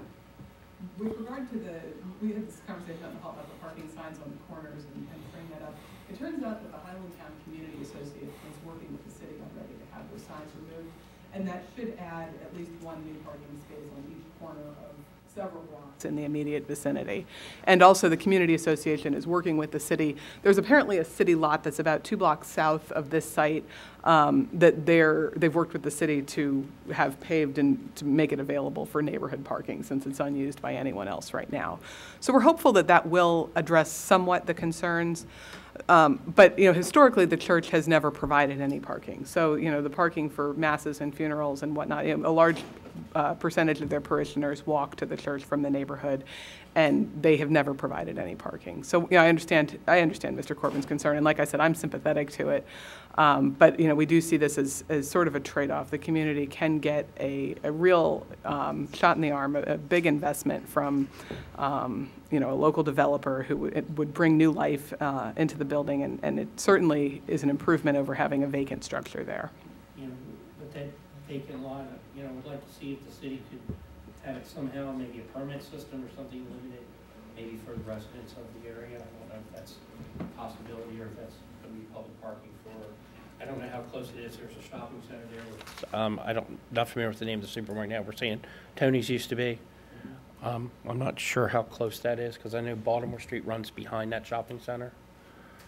Um, As far as the overall parking concern, um, you know, it's something that we frequently hear from um, uh, community members um, in that side of the city, and I was a little bit flipped before. I said we had a lot of parking in South Baltimore. In fact, we don't. Um, It's just not as bad. Um, And, you know, I, my personal feeling here is that, you know, I, I hear the sentiments of, uh, of both sides. That is the um, desirability for, um, new development in, uh, in an area that could use it, uh, and, um, you know, the return of um, a vacant structure to, um, vibrancy, but at the same time, there are complications that posed, um, for the existing residents. I think that probably the solution lies in creating some kind of parking facility um, in that part of the city. Um, That's, you know, not really something that we can control here, but that's just sort of my editorial thought there. Um, And that, you know, as more and more of these projects, whether they're of this type or they're just simply creation of new housing and then just you- there's just more people moving to that area, something's gonna need to be done. But, um, you know, I, I do hear the sides as far as, you know, the, yeah, I think that these parking issues can be very tricky. Um, I see what the available facilities are on this, um, property. There's at least ten spots. Um, um, and, know, but at a certain point, you, you can't stuff you know, 30 cars worth of parking into a 10-car lot. Um, But, Ms. Hecker? I'd like to let Mr. Taylor say a few words and then. Okay. All right. So, Mr. Taylor? um, Good morning or good afternoon. Um, First of all, I I spoke to William outside. It's uh, unfortunate I didn't get a chance to meet him at the community association meeting, but I totally understand his concern. It's very valid, and I appreciate you coming out. And like I said to him, none of this is acrimonious. It's not how we conduct our business. He opposes it, support it. We're still going to be open to him. He lives right across the street. He now has my cell phone number. Um, We went to the community, before we even started the zoning application, we went to the Community Association in Highlandtown. Um, I live in Union Square on the west side of Baltimore. We would kill for parking problems half the time. Um, So it's a trade-off, like everything in life. I mean, unfortunately, you can't get everything you want all the time. Um, But we went to the community long before we even started the process, and we said very clearly, if you guys don't want this project, we'll walk away. It's just not our, it's not worth the fight for us to deal with that kind of stuff. Um, Everybody was unanimously supportive that night. They had a second meeting only for people who opposed the project and who lived, you had to live on a block that was uh, adjacent to the property. And at that point, everybody, when I walked into a room, everybody was there because they opposed the project. And by the end of the meeting, nobody opposed the project. Um, We had two letters that were submitted to us, cold call. They just, they just sought us out. Either they saw the ABC article or there was an article in the Baltimore Guide um, that live on the block as well. And they just emailed me and said, we want to support the project. Here's your letter of support. Um, So, you know, I think everything is a trade-off. Um, Now, in terms of the lot size, you know, we really need the 28 units to make it viable. So our, our project stays. If you approve it, you approve it. If you don't, you don't. I mean, it, it is what it is. We're not here to fight with people. Um, I think, you know, that this is an important lesson Baltimore is going through right now. As I said, I'm a resident in the city. I taught in the city for many years. My wife took 12 years out of her life to teach in the Baltimore City school system. So we're very acquainted with what goes on. I've served for 10 years as the president of my neighborhood in Union Square. Um, so, you know, I mean, Baltimore has to decide, are we going to grow this thing or are we just going to let it lie follow? And, you know, from an investment standpoint, this is not the area you go to invest. It's, it's, it's down the road. It's in Federal Hill, it's in Canton, it's in Locust Point. You don't see traditionally three, four million dollars uh, invested in an area like this. Um, and so we're asking for you to understand our position as this is a risky project to begin with, and we need every dime and every door that we can to justify the expense. Um, and so we're asking for you to approve the variance as it sits. Thank you. If I can just wrap up really fast.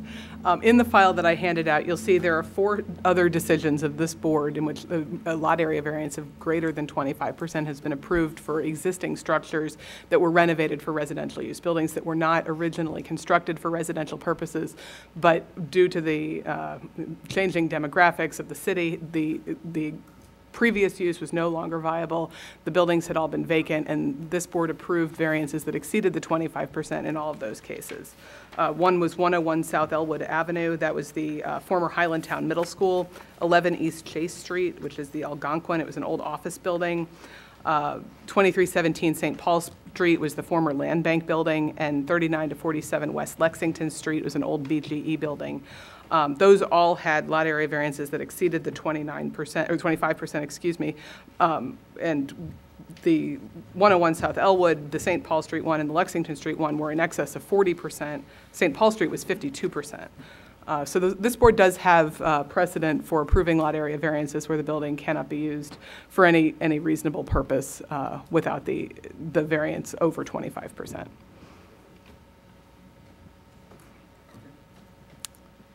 Thank you. One comment I would make. Uh, Two of them, I, well, I think actually, maybe, two at least I recall. Um, With Ellwood Avenue, um, the school, as I recall, was tremendous in size. Um, And same with uh, 11 East Chase Street. That was a conversion, I believe, of an office building. Um, I actually used to formerly live across the street from that. Um, But it, uh, the sizes of both of those buildings were small, I mean, were large. Um, And so the ability to either return them to their prior uses um, uh, or use them for anything else really was scant. There, it really was pretty um, clear that in those cases, those structures couldn't be used for anything else. Um, The St. Paul Street and the Lexington Street um, uh, cases preceded me on the board, although I'm familiar with 39 to 47 West Lexington Street. I think that that was another office conversion where similarly, the structure was very large.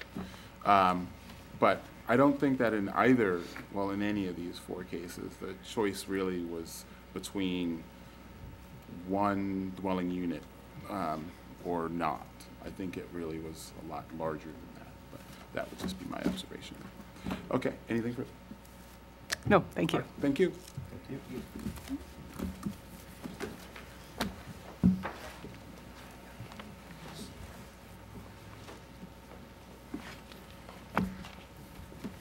Okay, next up, 2014-586, 4500 through 36 Erdman Avenue, Daryl Moore Stone and Jessica Harris.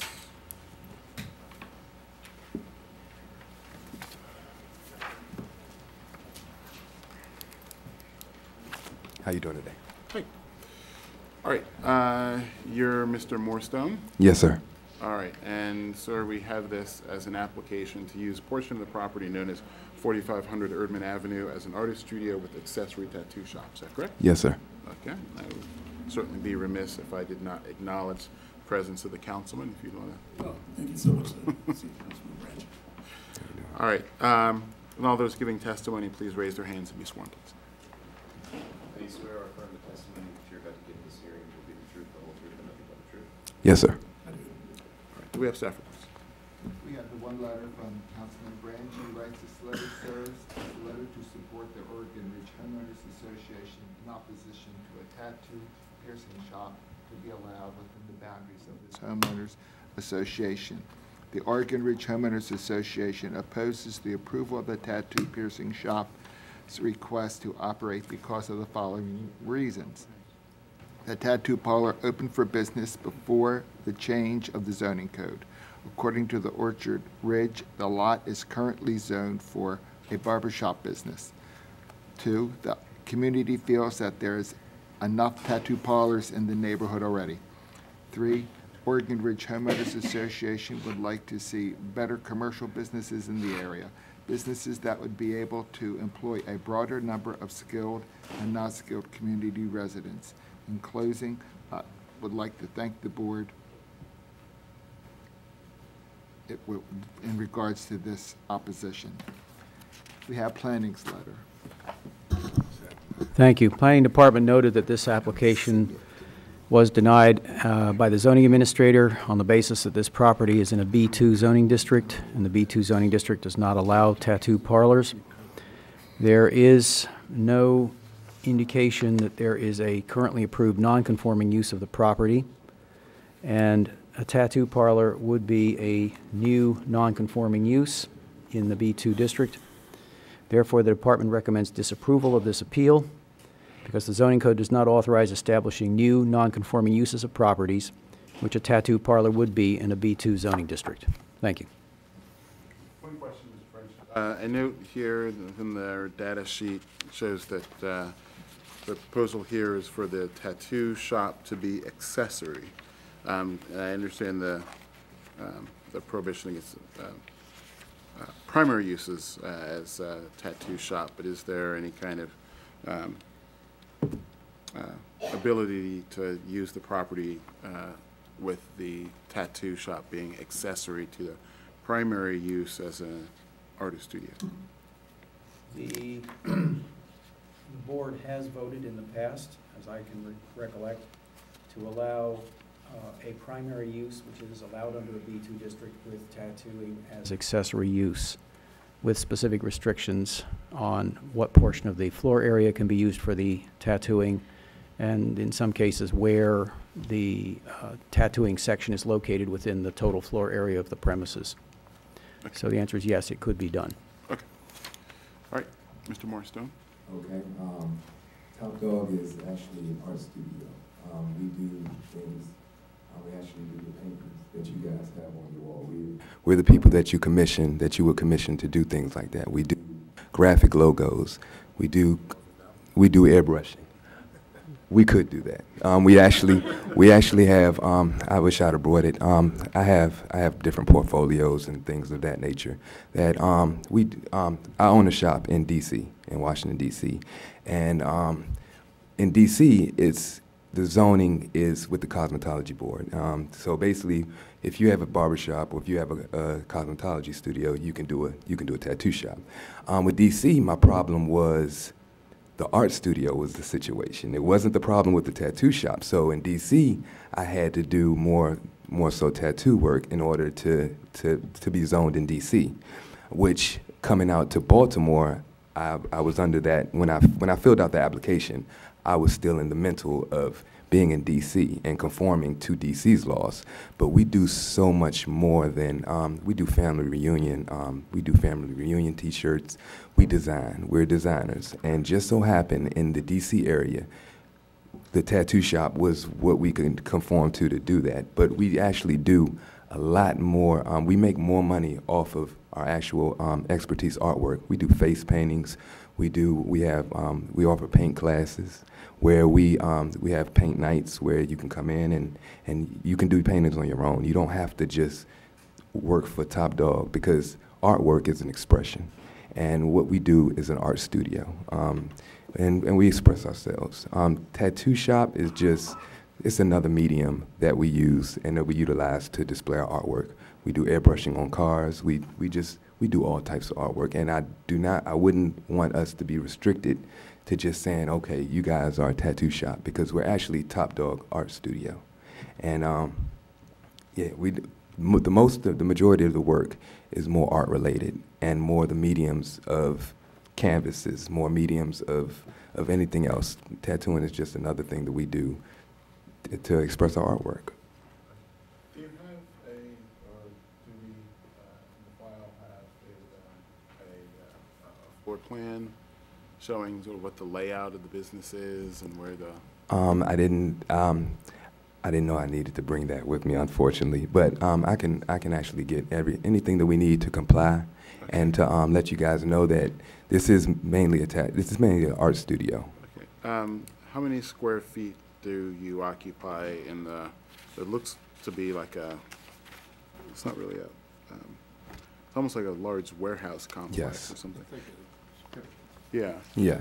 Well, actually, um, the 4500 block, one thing that we um, came to was for some reason you guys have the 4500 block as being the entire shopping center area, which we just have the first unit, which is 4500. Yeah. It, it goes it goes down. So Yeah, we've got it as forty-five hundred to forty-five thirty-six. right, right.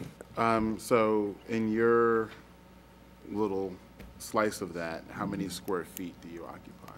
Um, uh, ooh, that was Mr. Ben's, uh, what it- I'm thinking it was. Looks like you have some help coming. It's just Harris. Okay, um, just a moment, Ms. uh, Harris, since you weren't sworn in, if you can raise your hand, be sworn, please. I do swear or affirm testimony that you're about to give in this hearing will be the truth, the whole truth, and nothing but the truth. Yes, Okay, um, Ms. Harris?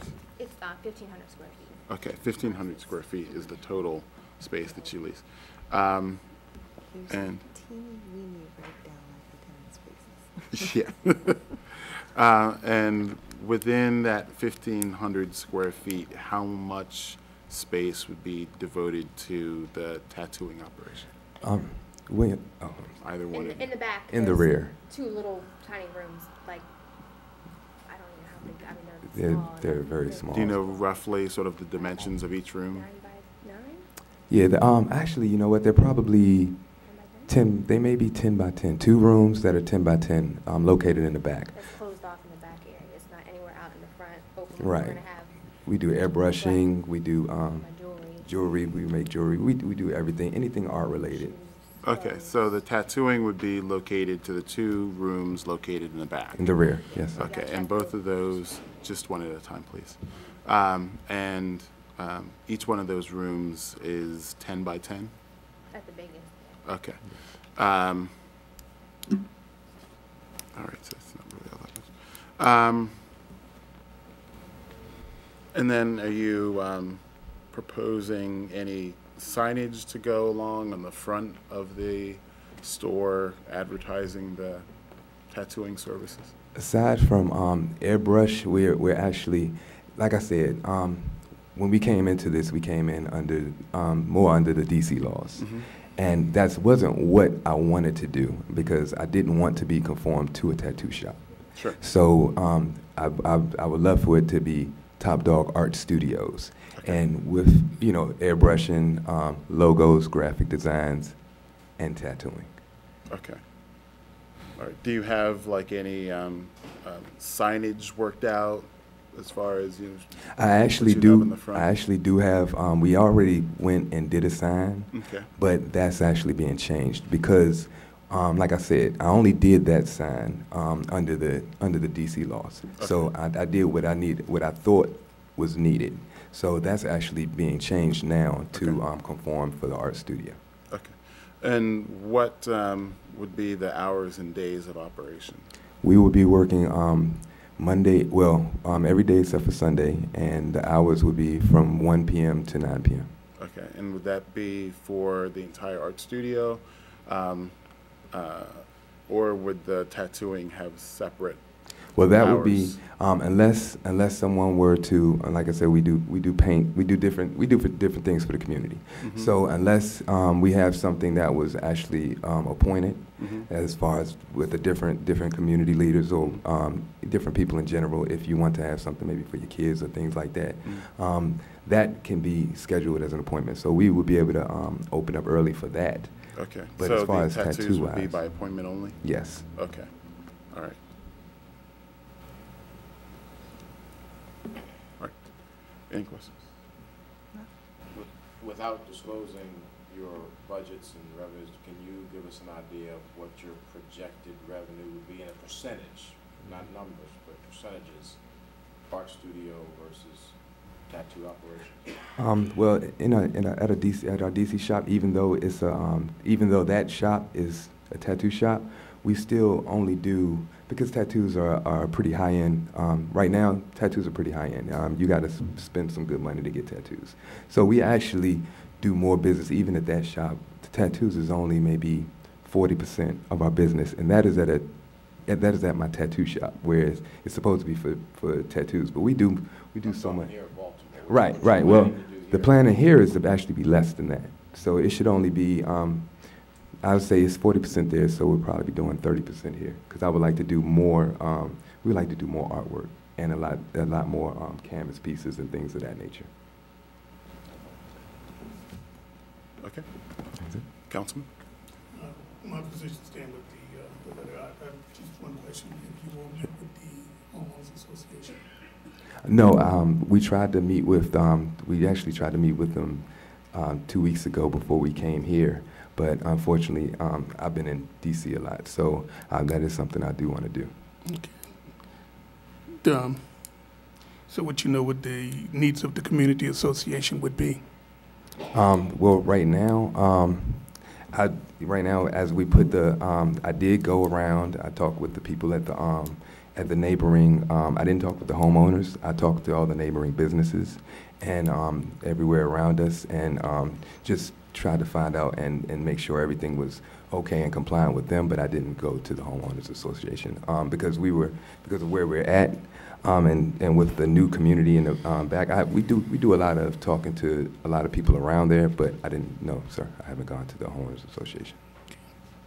Uh, the community, I stay, continue to stand with the community association and the letter that they asked me to support them with. Um, and, um, since you uh, had brought it up, um, Councilman, thank you for reminding me about it. Um, would it be possible to, um, uh, uh, to meet with the community association possibly? What we've done typically before, and the councilman knows, um, this from prior cases, but what we, what we've done, um, before when there've been situations where, um, you know, an applicant comes to the hearing but hasn't met with, um, the uh, community association just due to scheduling issues and like.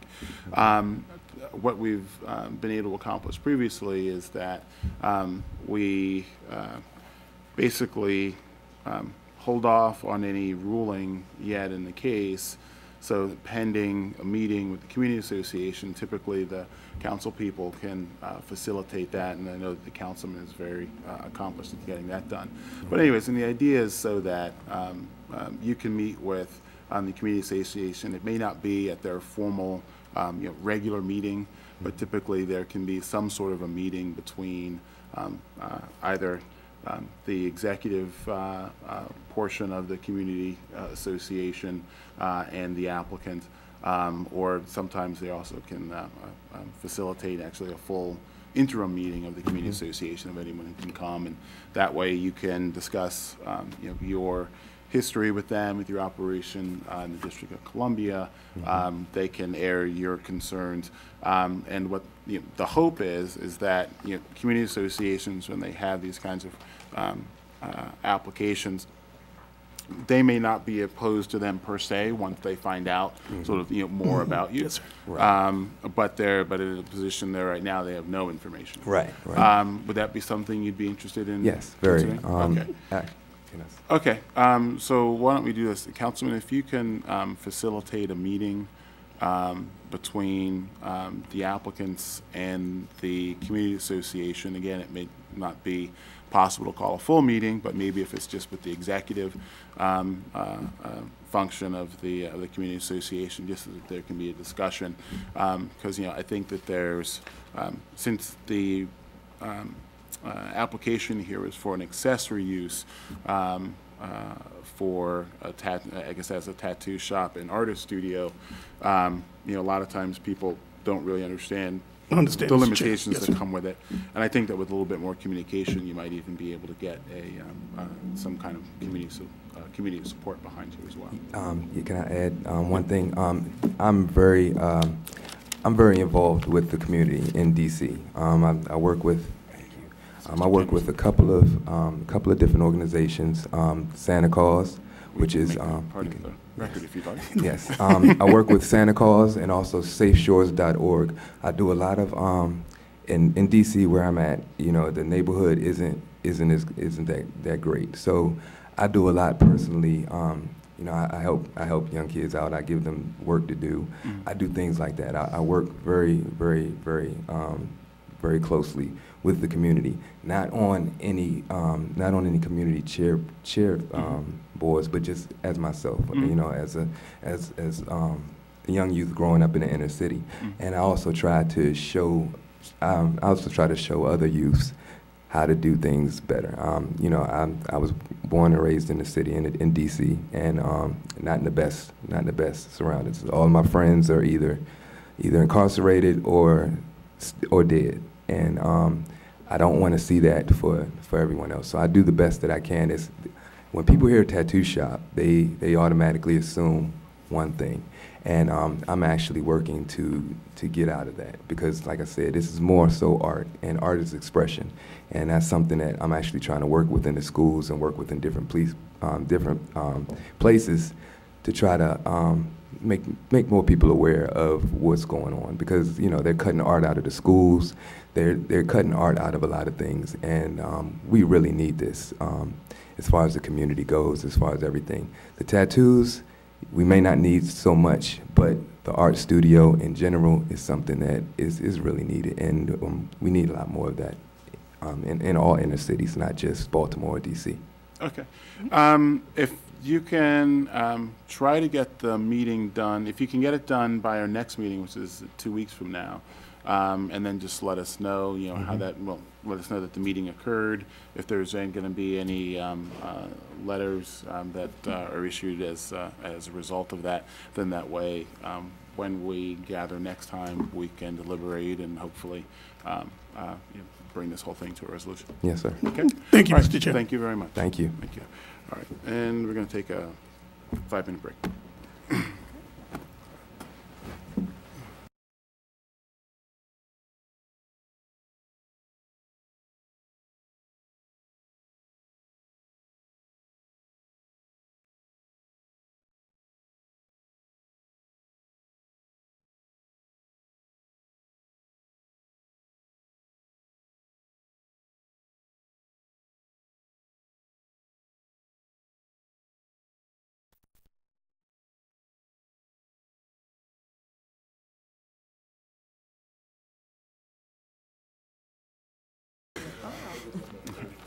Ready?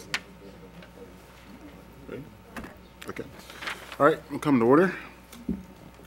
I'm calling our next case. This is 2014-588, 1226 South Clinton Street, CRP Restaurant Investments, care of Stephen Fogleman. All right, good afternoon, Mr. Chairman. Good Afternoon, afternoon, Mr. honorable members of the board. I'm Nice to see you. imagining that it's uh, a little bit awkward for you to be on that side of the table. Well, I've done it before at Liquor Board, but let me tell you what's special is being here on a Tuesday instead of a Thursday. Tuesday, It's good to be here. Thank you. All right, Mr. Fogleman, we have this uh, as an application to use the first floor as a restaurant with outdoor table service accessory to the restaurant use. Is that correct? That's correct. I'm here, I'm joined today by Christopher Petrie, the CEO of CRP Restaurant Investments Incorporated, and the general manager of Lighthouse Tavern, Mr. Patrick McCarthy. Um, Okay. This is a little restaurant with 85 seats. It's open six days a week, 1,800 square feet, first floor only. Um, I have an updated letter from you. The Canton Community Association was using. Before we get too far down the track, um, let's get them sworn in, just a moment. Um, I'm guessing that they're going to be testifying, correct? Yes, Okay. thank you. I swear or affirm the testimony that you're about to give in this hearing will be the truth, the whole truth, and nothing but the truth. Okay, and I'll ask for staff reports. Uh, yes, we have a letter from the Canton Community Association. They write that at its monthly meeting on January twelfth, the Development Committee, uh, was presented with the above plan. Consequently, they, uh, are pleased to advise the board that the association approves and supports the request on essentially two conditions. That number one, the uh, proposal complies with the uh, Canton Community Association guidelines for outdoor seating, and that the tables be uh, set up diagonally as opposed to directly against the walls of the building. And we have planning's report. Thank you. Planning Department reviewed this application and its attached drawing, which was for the outdoor seating area. Noted that the sidewalks on each side of this corner building are approximately 14 feet wide, which does allow ample space for there to be outdoor uh, seating, and specifically that, that uh, the width would allow at least six feet of unimpeded pedestrian passage in front of and beside the premises. Therefore, the department considers the site plan proposed by the applicant to be approvable. The department recommends approval of this appeal, if granted, be subject to these conditions, in addition to any other conditions the board may establish. A minimum of six feet of the sidewalk must remain clear and unobstructed for pedestrian use. The capacity of the outdoor seating area will be not more than six tables and 24 patrons. The tables will be limited to those that can seat four patrons and are to be kept against the wall of the building. There will be no outdoor bar, no outdoor music, jukebox, or other form of entertainment, and all patrons must be seated for dining and served by wait staff. Thank you. Thank you, Mr. French. And the uh, conditions stated by the planning department, Mr. Fogleman, are those uh, acceptable to your client? Yes, I've discussed them with my clients ahead of time. They do, they are acceptable. Uh, Furthermore, the Canton Community Association has its own outdoor seating guidelines that, that that basically encompass everything that was mentioned there. And additionally, they have one other important consideration, which my clients will be adhering to, which is to cease outdoor table service operations after 10 p.m. Okay. I also have an updated letter from them. There was a nomenclature problem. They, uh, the RE on their letter was really not what we're here for. We're here to out, outdoor table service as accessory use to a restaurant. I asked them to correct that. They have corrected that. I'm happy to submit a copy of that letter at this time. Sure, we'll to you. that. Thank you very much, Mr. Chairman.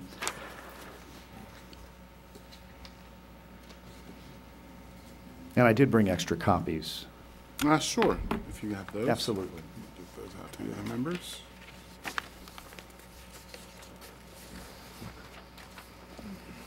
Sure.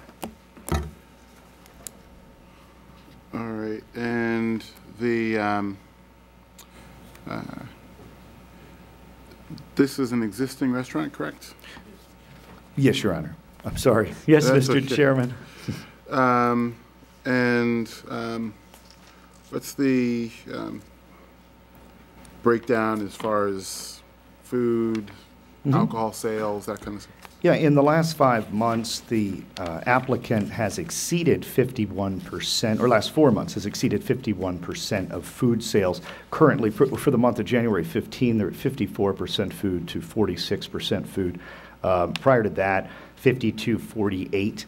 Uh, What effectively happened is that the restaurant started opening for lunch to the uh, workers on Boston Street, and that right there um, changed the numbers. Furthermore, um, it- two weeks from now, they're actually entering into an agreement with Order Up, a delivery service which delivers food from the restaurant to the neighborhood. They don't deliver alcohol, so they're not concerned that their numbers, in fact, they're, they're going to be about 60% going forward. Okay.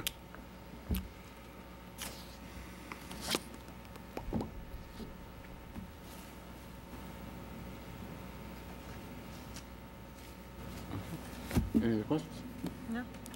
Thank you. It was a Thank you, pleasure Mr. to appear Vogel. before you, Mr. Chairman. Good to Members, see thank you. again. Take care. Good luck.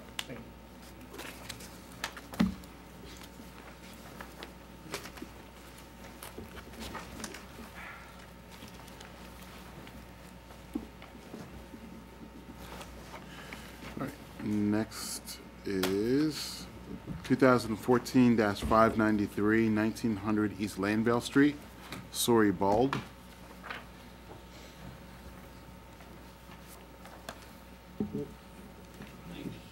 Whoops. Ah, okay, cool. Uh, actually, yes. Yeah, I did. Um, Sorry, Mr. Green. I uh, skipped over somebody. Okay. You can just have a seat, we'll get to you in just a moment. 2014-590, 203 East North Avenue, Jose Tavares. Sorry, folks. You good. Um, all right, Mr. Tavares, we have this as an application to use the lower level as a carryout food shop uh, and grocery store. Is that correct? Yes. Okay. Can all those giving testimony raise their hands and be sworn, please? Do you swear or affirm the testimony that you're about to give in this hearing will be the truth, the whole truth, and nothing but the truth? I do. All right, do we have staff reports? Yes, first we have a letter from the New Greenmount West Community Association. They write that uh, they want to express their opposition at this time to the request. Uh, They Community Association had the opportunity to meet with the appellant, uh, and following the meeting, they discovered the following items. That Mr. George applied for an appeal to use the basement of 203 East North Avenue as a carryout location in 2011. Uh, Mr. George's appeal was dismissed, and there never was a zoning variance issued. As a result of this, the permit, number USC 2010-538, was issued, and as such is invalid, as Mr. George has allowed the operation of a carryout business in this building without zoning approval. This further means that the current request is based on operation which are not, operations which are not currently permitted and are in fact in violation of zoning. Uh, There are questions about the posting notice causing concern for the community. There are questions about adding a grocery store to the premises. And finally, they, for the purposes indicated on the application filed by Mr. George and Mr. Taveras, states existing use, closed carryout, proposed use, carryout and grocery store. We look forward to continuing this conversation with Mr. George, but must, in due diligence to serve our community at the highest level, reject any notions to support this application currently. We respectfully urge the board to decline to request the variances at this time. And we have Planning Department's report. Thank you. Planning Department notes that this property is zoned OR, which is office residence, in which um, either a restaurant or a carryout food shop would be a nonconforming use. The question would be, of course, what is the actual permitted use of the property, as you've just heard. The department notes that the record available to it showed that the last authorized use was actually for a restaurant and coffee shop. There is a plan, an urban renewal plan in force for this area, which is, pardon me, the Greenmount West Urban Renewal Plan, which you've heard discussed previously in regard to another appeal, which contains a provision that prohibits changing of a nonconforming use to a different nonconforming use. On that basis, if the last authorized use of the property is not a carryout, then the urban renewal plan would prevent authorization of a carryout on the urban renewal plan level by the planning department. The department therefore recommends disapproval of this appeal because the Greenmount West Urban Renewal Plan, which prescribes permitted uses in the Greenmount West Urban Renewal area of which this property is a part, does not allow changing the former nonconforming use of a restaurant and coffee shop to the proposed nonconforming use of a carryout. Given the four years which have elapsed since the non-hearing of appeal number 2010-516, which was also referenced in the letter you just heard, and the applicant's statement that the carryout food shop is presently closed, which was on the application, there may no longer be a nonconforming use of the property. Thank you. Mr. Forrest, do you understand um, uh, everything that um, the planning department representative just brought up? Yes, I understand. Um, that's why I bought, I bought this. It's a health department permit that's still valid today. Uh, I said it was closed carryout because they closed in October this year. Um, I belong to the community. I live in the same building, 203. Um, and I even bought food in the place, you know. Um, it was less than a year, and I see that the, in the records, it said that there was any business, there were any business in there four years, in four years, you know. That's that's what I have to say. Um, um, I meet I meet her in, um, last week. Um, Lena too. It was pleasure to meet her, and they even agree with me that in the community we need a business like this. You know, they don't have any food shop, any carry out like that. You know, that it's combined both together. So that's that's what I have to say. Okay. Um, in looking at the, um, the permit that you handed up, that looked to be a, um, a a permit from the health department, um, although at the top of it, someone has written in void. Do you know, did you write that in? Did the health department write that in? No, they, they did it because it is not my name, you know? And I just went there yesterday to get a copy because I didn't know that you guys don't have a record that Belly Steakout carry out assist. Yes, and that's kind of where um, it sort of breaks down. Um, uh, Because there are a couple of different um, uh, layers of regulation. Um, And while the health department um, may have issued a, um, uh, a permit uh, basically saying that they had inspected it and they comply, and that it complies with the health codes. Um, It also says, you know, it has to comply with all other laws. Um, um, For purposes of this board, what we really look more at are um, you know, approved uses of the land as opposed to, you know, passing the health inspection and, and operating pursuant to the health code. Um, and what our records show is that, um, as Mr. French had indicated, that there was a um, case in 2011, um, uh, case number 10-516, um, filed by an H Law. Do you know who that person is? If he's Louis George, um, he's the owner of the building, and yes, I know him. Um, well, this is this gentleman's or this person's last name is Law. Oh, no. Um, but anyways, they had filed an application um, to use the uh, basement portion of the building as a carryout. Um, where would yours operate out of? Would they operate out of the basement level? Um, I'm not sure that guy, but um, the last one, Mhm. um, I asked the owner, and the last one, who is this this belly steak cow Mhm. carry out, Mhm. um, they operate. They opened in April and they closed in October the, last year, 2014. Okay, so that operation there opened in April of last year and then closed in October of last year? Yes. Okay. And do you know, were they in the basement of the building? Were the they? lower level because um, it's not like a basement. It's Yeah, there's like steps that lead down as opposed to, like, if you're at the street level, you're walking down steps, Yeah, you're not walking up steps. Okay. Yeah, that's um, the same area of the building. Um, And what was being explained by um, uh, Mr. French is that if there's not a prior um, uh, approval allowing um, that uh, business to operate there, um, uh, whether it was this one back here in 2011 or that one there that got the um, health department permit in 2014. Um, But if there's not a uh, approval allowing them to use that space, um, then there's not a, it's not a permitted use. It might be a use that's operating pursuant to the health code, which is good, because you don't want to have unsanitary restaurants.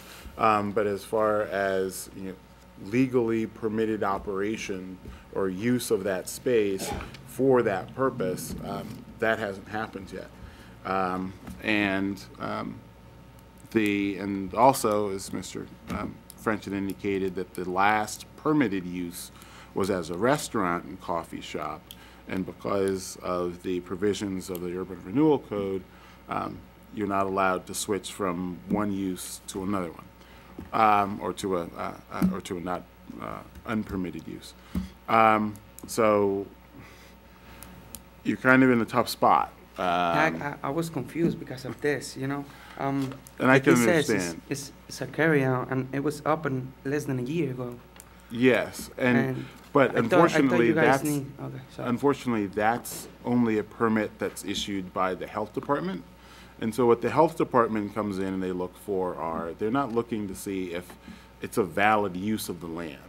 They come in and they say, well, you know, we, you, as a carryout, you have to operate in, uh, according to the health code, you have to have sanitary um, conditions. Um, You know, you have to have a freezer, and you have to have, you know, washing facilities and that kind of thing. And there's also sanitary um, issues um, that need, uh, uh, that you need to operate according to. And so they'll come in, they'll do the inspection, but they're doing it to see if you're operating lawfully according to the health code.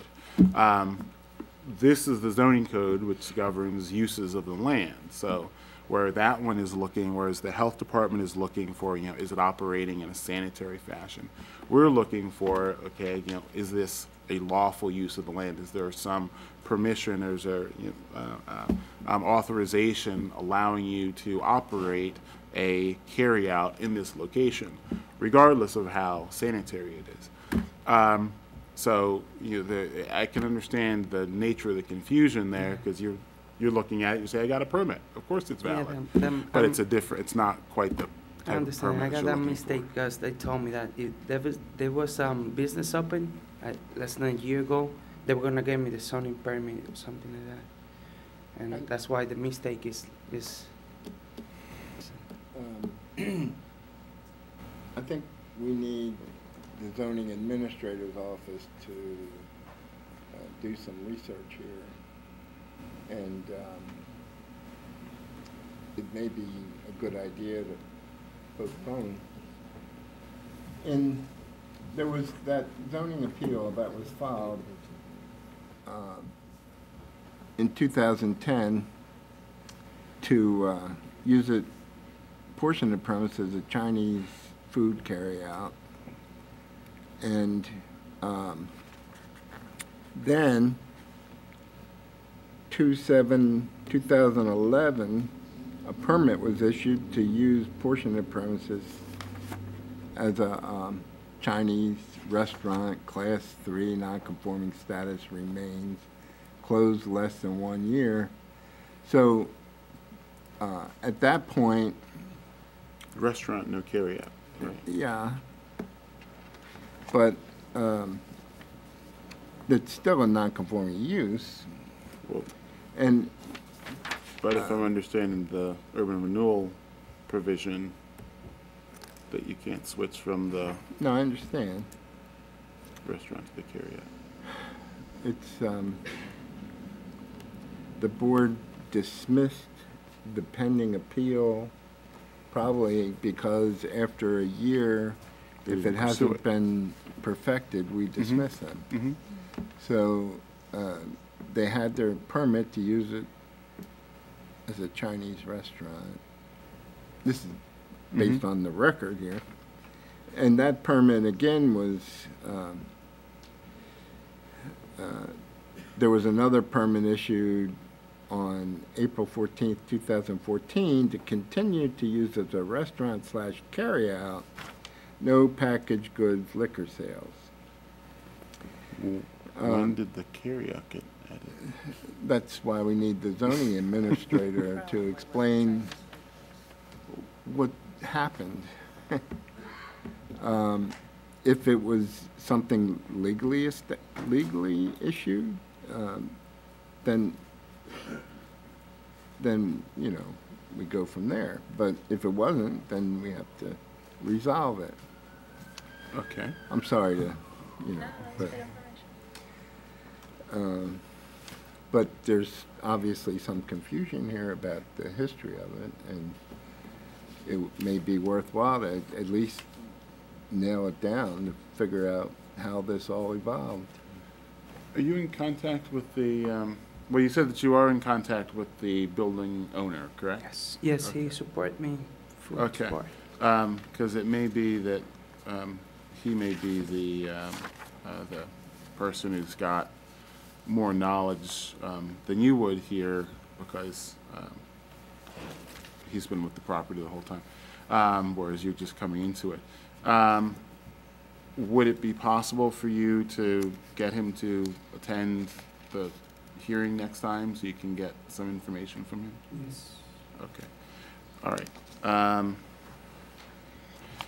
Then why don't we um, postpone the hearing um, so that he can get here and uh, also we can get some more information from the zoning administrator's office um, uh, to kind of shed some light on what exactly is going on. Ma'am? Lindsay Esposito, I'm here on behalf of the New Greenmount West Community Association, on letter that was submitted for the record. Um, and I'm here to, to represent the two main points that the community has with this application. Um, the first being this, this ambiguity of was, was there a zoning variance issued, was there not?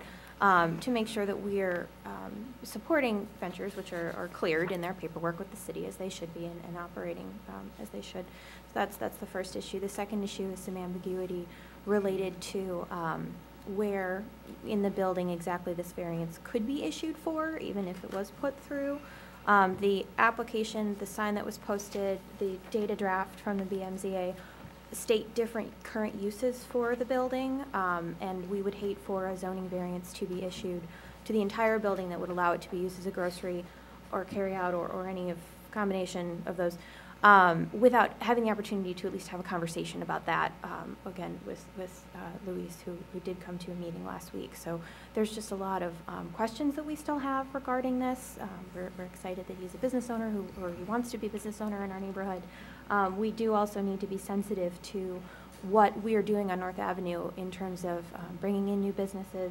We have had, um, a, a history of blight, a history of, um, carry-out operations that were not operating as, as they should in a way that keeps our neighborhood safe, um, in a way that does not promote loitering, things like that. Um, so these are, are- this is a really core issue for us and a very important strip of our neighborhood. And so that is also why, why we ask, for your consideration at this point. Okay.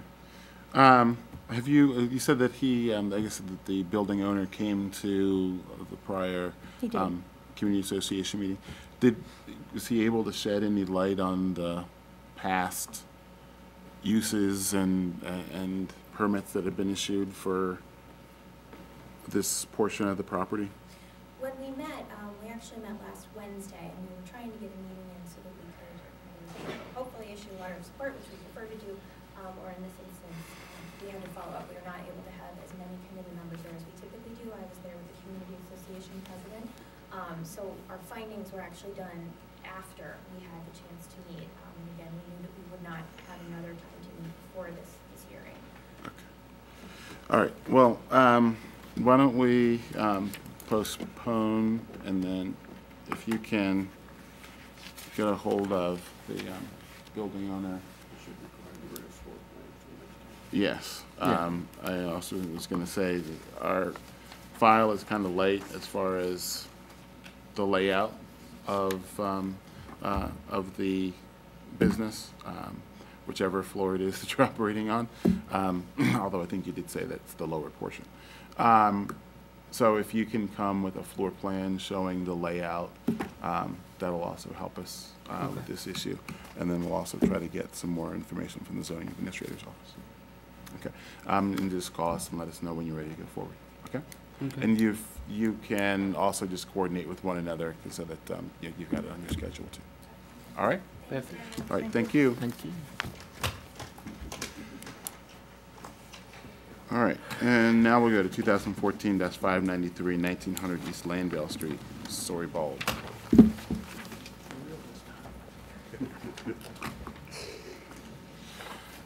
All right, Mr. Green, uh, we have this as an application to use the first floor as a grocery store, is that correct?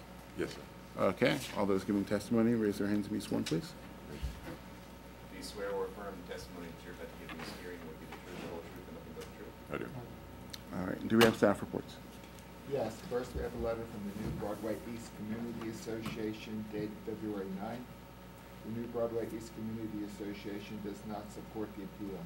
The appellant has not made any effort to communicate his comprehensive plan to this community association or its board's representatives. That being said, their concerns remain that there is no need, there is a question of public safety, questions about trash removal, and the urban renewal plan. Unfortunately, for the reasons we stated, we cannot support this project at this time. We have a letter from Councilman Carl Stokes. He writes his letter in opposition to, to nineteen hundred East Lanvale Street. Uh, the community is on the cusp of being free from drug traffic and occupied by homeowners. We do not want to send this area in the opposite direction by allowing a grocery store on the first floor. I have met with members of the association who agree that this project will not be an asset to the community. I oppose this endeavor and hope that the zoning board will support my position. Thank you for your attention to this matter. And we have planning's report. Thank you. Planning Department reviewed the application. With regard to the Broadway East Urban Renewal Plan, that plan does not appear to prohibit or otherwise restrict the proposed use of the property. However, the department also noted that the last use on record is a single-family attached dwelling, and there was no reference available to us for a uh, non-conforming commercial use. Therefore, on that basis, the department has no objection to approval of the appeal if the non-conforming use of the property has not been discontinued or abandoned. Thank you. Thank you, Ms. French. All right, Mr. Green. Yes, sir.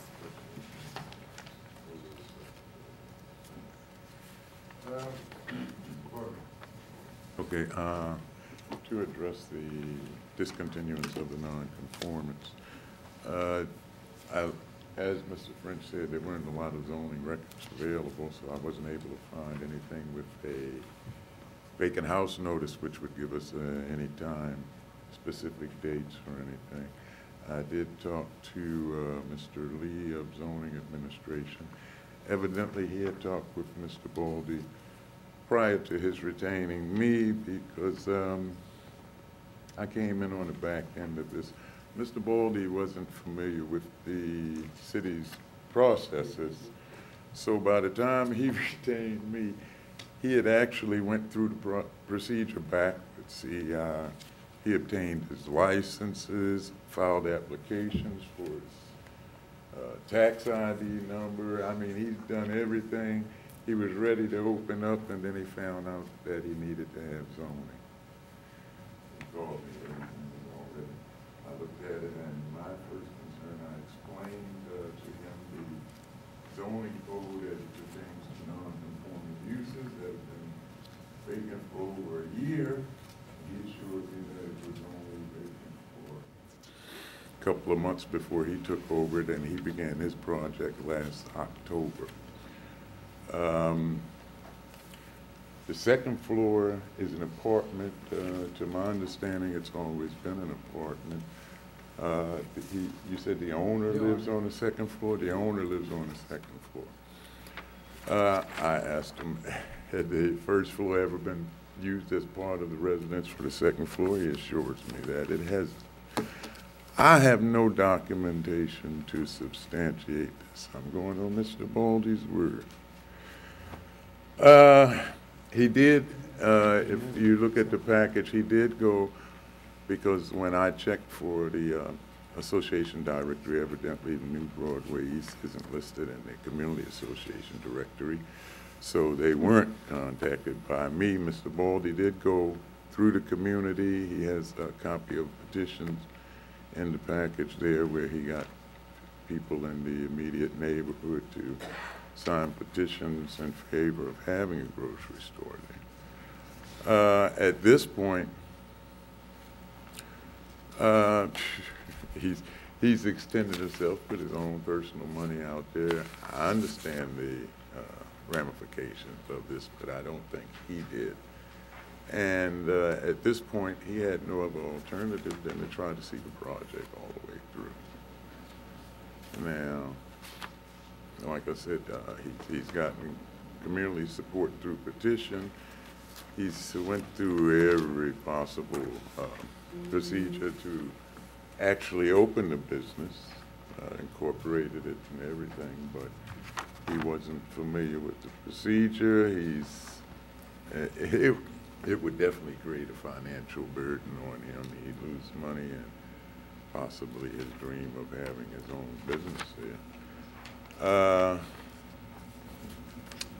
Unless Mr. Tanner was able to come up with some zoning records, I wasn't able to come up with, I, I really can't. I have to take his word on how long the property had been discontinued as a non-conforming use. And if Mr. Baldy wants to address you at this point, I think if you have anything, no? Yeah, I have anything. Okay. Uh, when the, my friend bought the building, uh, come over there, the neighbor say, hey, one store here right now, like a four block, uh, east, west, south, north, no have any store. The children know where is one about the food, no do nothing. When the friend bought the store, no not bought the house, no anybody here, no more store. Uh, you go long way if you go buy something. And then I talk to the community, he say, okay, I need you who available for open the store. My friend say, you know, I have money to open the store. I want to help him open the store. I say, all the one house over there in the corner, all them have a liquor store, have a liquor store, no have in a store.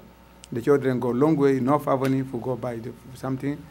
And then I talk to the community, everybody sign the paper, he say, you available for open the store, I, open, I do everything. When I go to zoning, he the, somebody open on the store before, no have one permit. You want to look in the permit before you finish it up. And then I contact them, I say, for help. and everything done over there, only the people wait every day, lock the door. How long we want to open the store? How long we want to open the store? I say, I wait in the zoning.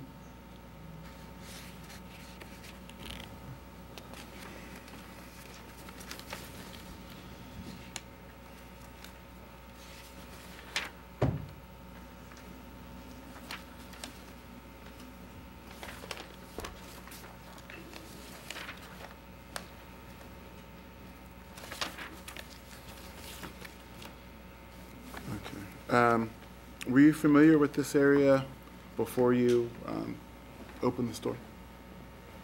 Sir, Were you familiar with the area before you opened the store? Did you know the neighborhood? uh, my friend uh, bought this house uh, one year ago, and then I come every week uh, see my friend, and then talk to the neighborhood. One day, I mean, outside the door, one neighbor come in, uh, who bought the store, the house now? I tell my friend, "The- why you can open the, the store? Before have a store here, not anybody buy. And my friend say, me, I don't have money for open the store, but I want to help you. Anyway, the, the neighbor want this store be over there. I say, no, have where bought the food. Whatever he motivated me for, for open the store. Okay, so your friend owned the building, The owner building. yeah, um, and then that's how you came to know of the building and the neighborhood? Yeah, the neighbor, like, come he- every day he come over, ask, only the house available right now for opening a store. Another store is closed, another one is a liquor store. And Did you ever ask your friend um, about um, when the um, uh, previous business was open? Yes, uh, this I say, my friend to the neighbor, he say, uh, why you bought the, the house and now you know want to open the store. Everybody before buy here everything, right now is closed. You uh, can help the people to open their store? Then I said, okay. Did he ever tell you um, how long the last store had been closed, when it closed? He said, when the, my friend bought the house, he said, it's closed one month ago. After my, my friend bought the house, he live over there for three months, and then I see, told the neighbor, he say, why you close the store? Okay, so it closed about a month or so before he bought it? Yeah. Okay. And when did he buy it? She buy uh, last year, this, the, the house. Okay. All right. Um, do you know what month? Uh, I know exactly what month he buy the store, but uh, the October, I start uh, fulfilling, open the, the store. Okay. Um, but, so, but, but you don't know what, uh, when he bought it? Exactly month, I don't know. I know 'cause last year, Mm-hmm. when they bought the store, I'm go over there, I check, uh, I make an inspection for the house. This uh, February, I do the inspection, and then you do fill in the house. Maybe it's gonna take a couple months before the, the house be apply for buy the house from the bank. And you said he bought it from the bank, this, uh, he, um, he bought this property from the bank? Yeah, I think he, he bought the, the uh, he said, he bought the off the house. Okay. Would, do you, do you know if it was uh, foreclosure or something? Mm, no. Okay. Um,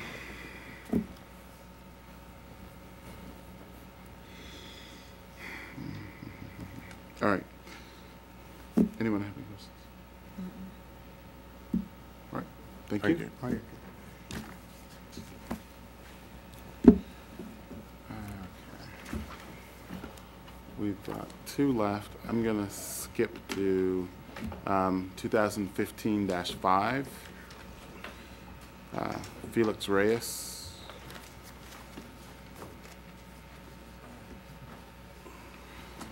Okay. Uh, Mr. Reyes? Yeah. Okay. Um, We have this as an application to use the first floor as a carry-out food shop, is that correct? That's Yeah. Okay. Can you raise your hand and be sworn, please? You swear or affirm the testimony that you're about to give this hearing will be the truth, the whole truth? We do. nothing but the truth? We do. Okay. You, sir, your name? Luis Vasquez. Okay. And Mr. Vasquez, your relation to Mr. Reyes? Yes. yes. Good friend. Well, good friend, like brothers. Okay. Um, And Mr. Reyes, are you able to speak and understand English, or do you need um, uh, Mr. Vasquez to help you understand? Yeah. Yeah. Okay, you need, okay, so Sure. you're I need sort of closer, I need translating. closer, right, right, right, here. Okay, all right. Um, All right, um, do we have staff reports? Yes, first we have a letter from the Ellwood Park Improvement Association. Their president, they write that through the years, they've had nothing but trouble from that corner, and we already have enough carryouts in legally zoned locations. There are enough carryouts in the 200 block of North Highland and many, many more along the Pulaski Highway corridor from North Conkling Street north to North Ellwood Avenue. It is also our information that carryouts are not legally zoned in the R8 communities. Uh, let's see, let's see, let's see. We would appreciate your support and our strong opposition to this zoning appeal. We also have a letter from Councilman Warren Branch. He writes, "This letter serves as a letter to support the Ellwood Park Improvement Association in opposing 600 North Highland being used as a carryout uh, for the following reasons. There are too many carryouts within the community's boundaries, constant high levels of trouble, that is littering, loitering, and criminal activity, and feel that carryouts are not legal in R8 communities. In closing, I ask that you stand with me and the community in opposing the request for this establishment to become a carryout. Thank you. And then we have planning's report. Thank you. Planning Department notes the property is currently zoned R8. It has been the subject of previous appeals, as have just been described. The application is to use a portion of an existing grocery store and delicatessen as a carryout food shop by adding a grill to prepare hot fried foods. The problem basically that the department sees is that a carryout food shop is a permitted use in a B2 district, but it is not a permitted use in a B1 district, and therefore the zoning code does not grant the board discretion to authorize the carryout food shop in the R8 district under the rules of change of nonconforming use. The department therefore recommends disapproval of the appeal because the zoning code does not authorize creation of a new nonconforming use, which a carryout food shop would be in this R8 district. Thank you. Thank you. Okay, um, Mr. Vasquez, uh, Yes. you can ask um, Okay. Mr. Reyes if he understands. Que tú entiendes que yo debo hablar por ti diga lo que yo quiero decir, ¿verdad? Yeah. Yeah, okay. It's- it's allow me to say what I have to say then. Okay. Okay, what it is, this store has been open close to a year right now. It's a deli, it's a grocery. We got a lot of clients in there, a lot of customers there. They come in right there. They ask us, since you got deli, food, why you don't sell hot food? I said, we don't allow to sell food because we don't really, we don't have the permit to do that. And the customer, they really brought there, they, to us, to open a hat, you know, like a carry-out sub shop, because they ask us a lot. Because almost every day they've been asking for that. So that's the reason we come over here today and apply. Please, any pastor, they can be approved for carry-out also too, because same we sell a deli, food, you know, we can sell hot food at the same time, because a lot of customers, they come asking for that. And that neighborhood, you know, they, every other neighborhood, they know us. So that's the reason we come here apply today. Okay, um, and um, he, um, uh, he, that is Mr. Reyes, understands that carry-out food shops aren't permitted in the zone. Que tú sabes, dice él, que lo- los negocios de carry-out no son permitidos en esa zona. He said he don't know. Um, That's the, Wait, wait. He said, why? Because they got salt shops around, across the street from Pulaski Highway. Why are we, why would you be able to open one right on the corner there where he had? okay. Well, looking at where the property is, um, it is very close to an M3 zone. Um, And so if you're talking about over on the other side of Highland Avenue, Right. um, there, that's a different zoning district. Um, And where you're under one portion of the zoning code, over in the M3 district, that's different.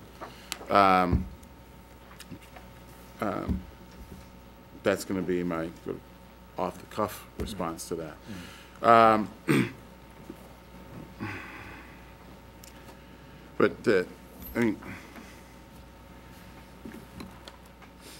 if I'm understanding the planning department correctly, and I'm understanding also what, um, the information that we're provided with as far as the prior use, um, of the property.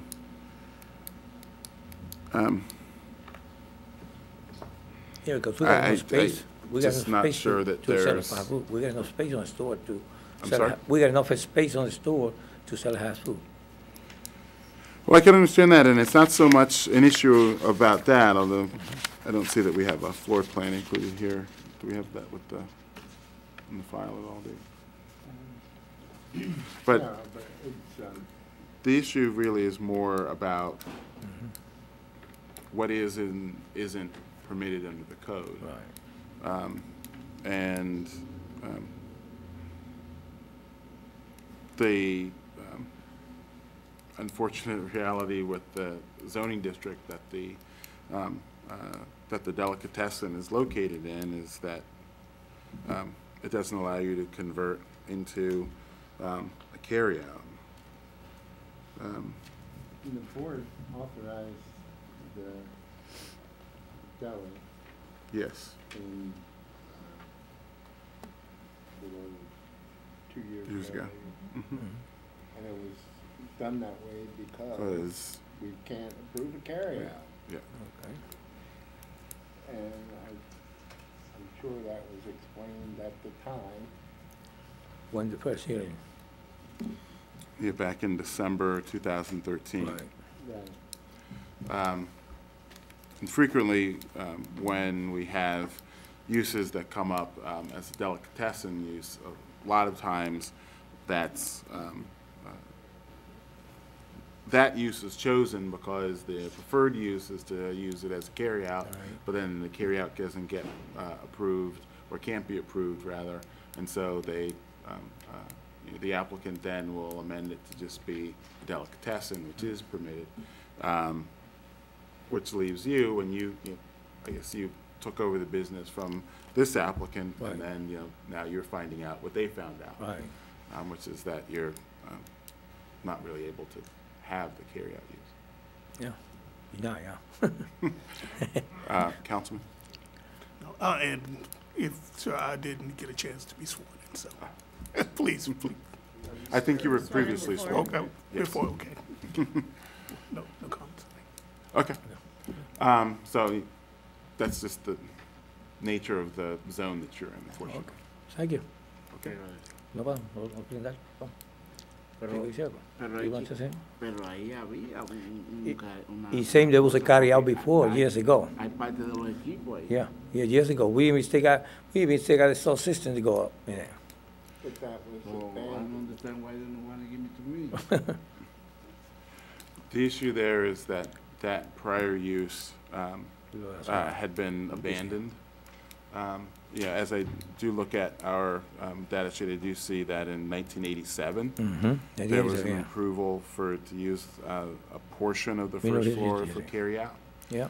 Um, But that appears to have been abandoned at some point, um, because in 2008, um, there was an application to use a portion as a grocery store, while the appeal in 2000, in 1987 was to um, use the, uh, um, I guess the, the primary use was be to use it as a grocery Oh, store. So that is indicating to me there that there was some abandonment of that carry-out use. All right, So That's the problem. Ok, dice que en el 87 fue ese abandonado por un restaurante y ya se le cayó la zona. Después aplicaron para una grocery store y la store no fue aceptada. Ahora tú aplicaste para store y te aceptaron con la deli, pero no pueden aceptarte el, el. So, ¿qué tengo que hacer ahora? Okay, now what do you gotta do? You say. What do you gotta do? Well- since, since he was denied. Well, uh, I think that the only possibility at this point Uh-huh. would be to um, pass an ordinance and to change the law. Um, Mm-hmm. Is here, but, um, but short of that, as far as, you know, what this board can do, is we're just really constrained by what the code permits right. and what it doesn't permit. And here, it doesn't permit a carry-out shop in this zone. que esa zona no permite carry-out ahí porque tiene mucho cerca de ti, que tiene todo eso millado, tiene todo eso ahí, como hay mucho cerca, no te prohíbe de que tú hagas eso ahí. Está muy cerca. Ok? Thank you. Sorry. Bye, bye-bye. Thank you. you. Thank you. Thank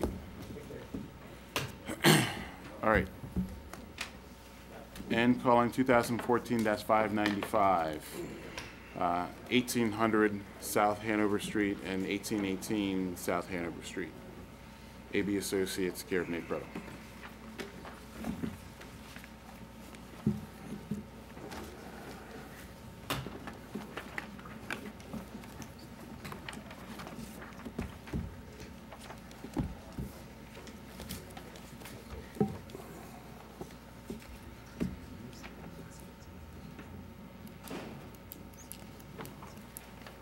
Okay, Mr. Berry, we have this as an application to raze the existing structures, consolidate the properties, uh, uh, 1800 South Hanover Street and 1818 South Hanover Street.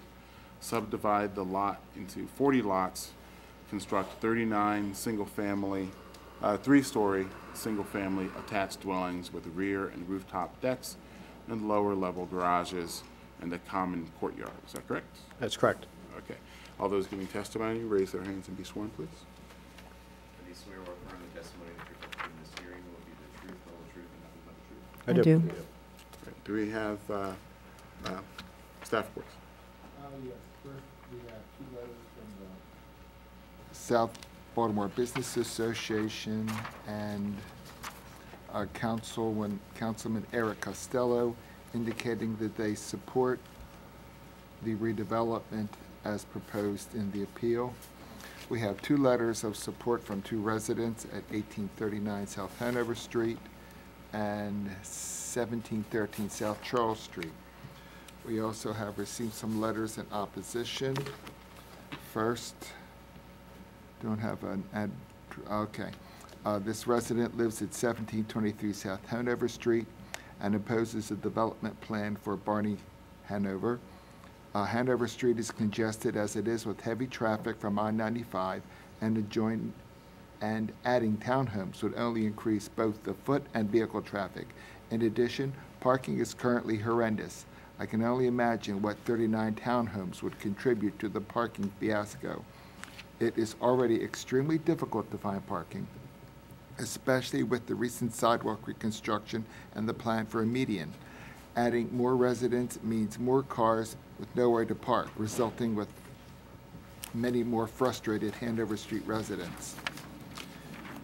A letter from a resident at 1731 South Hanover, she writes, uh, the proposed project will eliminate approximately 40 to 50 parking spaces that are fully occupied daily by 6:30 PM.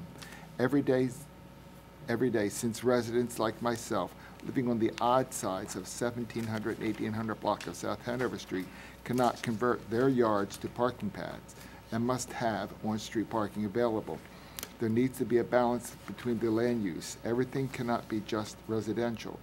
We have a need for services. The property could be developed into something more, more that the community needs. There is a concern that these structures are being built in a current business zone that has that safety from fire, panic, and other dangers would impact people trying to escape out onto either South Hanover Street or Barney Street in an emergency situation. We have already had those situations occur. The developer claimed in a community meeting held earlier this fall that these new homes will increase the value of our homes. We also were told when the, we were also told this when proposed apartment buildings and condos were approved on Wells Street, Heath Street, and Clark- Clarkson Street. However, this has not been the case. We have had a vast amount of vacant houses that currently exist in the 1800 and 1810 South Hanover Street. In the recent 2015 tax assessment that just circulated, many of us homeowners who are still here have found that their property values have decreased significantly since these other buildings have been built. Putting 39 new units in for profit is not a good reason to do this development project. Lastly, Eric Costello has not offered to meet with us at any of our community meetings to address this concern since he became the representative. We also have Planning Department's report. Thank you. Planning Department has reviewed this application. Notes that this is a proposed subdivision which will require review by the Planning Commission following whatever action this, this board may take. There are requirements for variances. There is also a requirement for site plan review, which has not yet been completed. The department recommends that approval of this appeal, if granted, be subject to the conditions that the proposed development site plan be approved by the Site Plan Review Committee and the proposed subdivision be approved by the Planning Commission. Thank you. Thank you. Okay, and Mr. Berry, your um, clients are amenable to the conditions stated by the planning department? Yes, absolutely.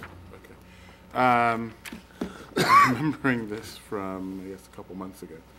Yes. Um, And I guess the threshold question here is um, whether there's a um, substantial change in the plan warranting um, uh, uh, consideration, well, it's basically, um, if the changes in the plan are sufficient, um, that be considered a new um, or different um, uh, application from the prior one that the board considered um, in December.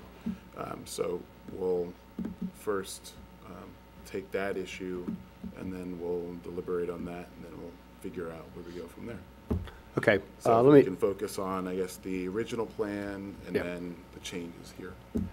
let me bring the board up to date with a little bit of a narrative and why we think it meets the test for a substantial change, although the plan admittedly, to the naked eye, might seem to be and is somewhat similar than previously. But as we indicated to the board for a prior case known as the Crittenton case, where the amount of variances that were requested on a disapproval were then substantially reduced, uh, the board in that case found that there was substantial change, even though the plan was essentially the same.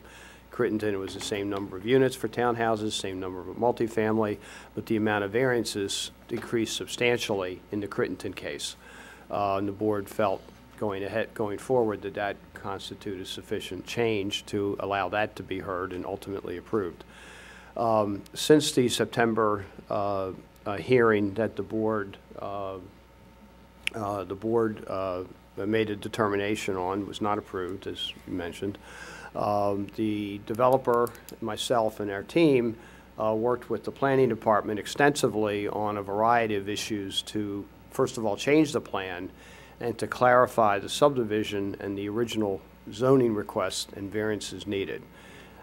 Sean Davis, who's an uh, engineer with Morris and Ritchie, will explain the plan and the differences, but in general, the original plan that was approved by, or was submitted to the board had 42 homes. This new plan has 39 homes.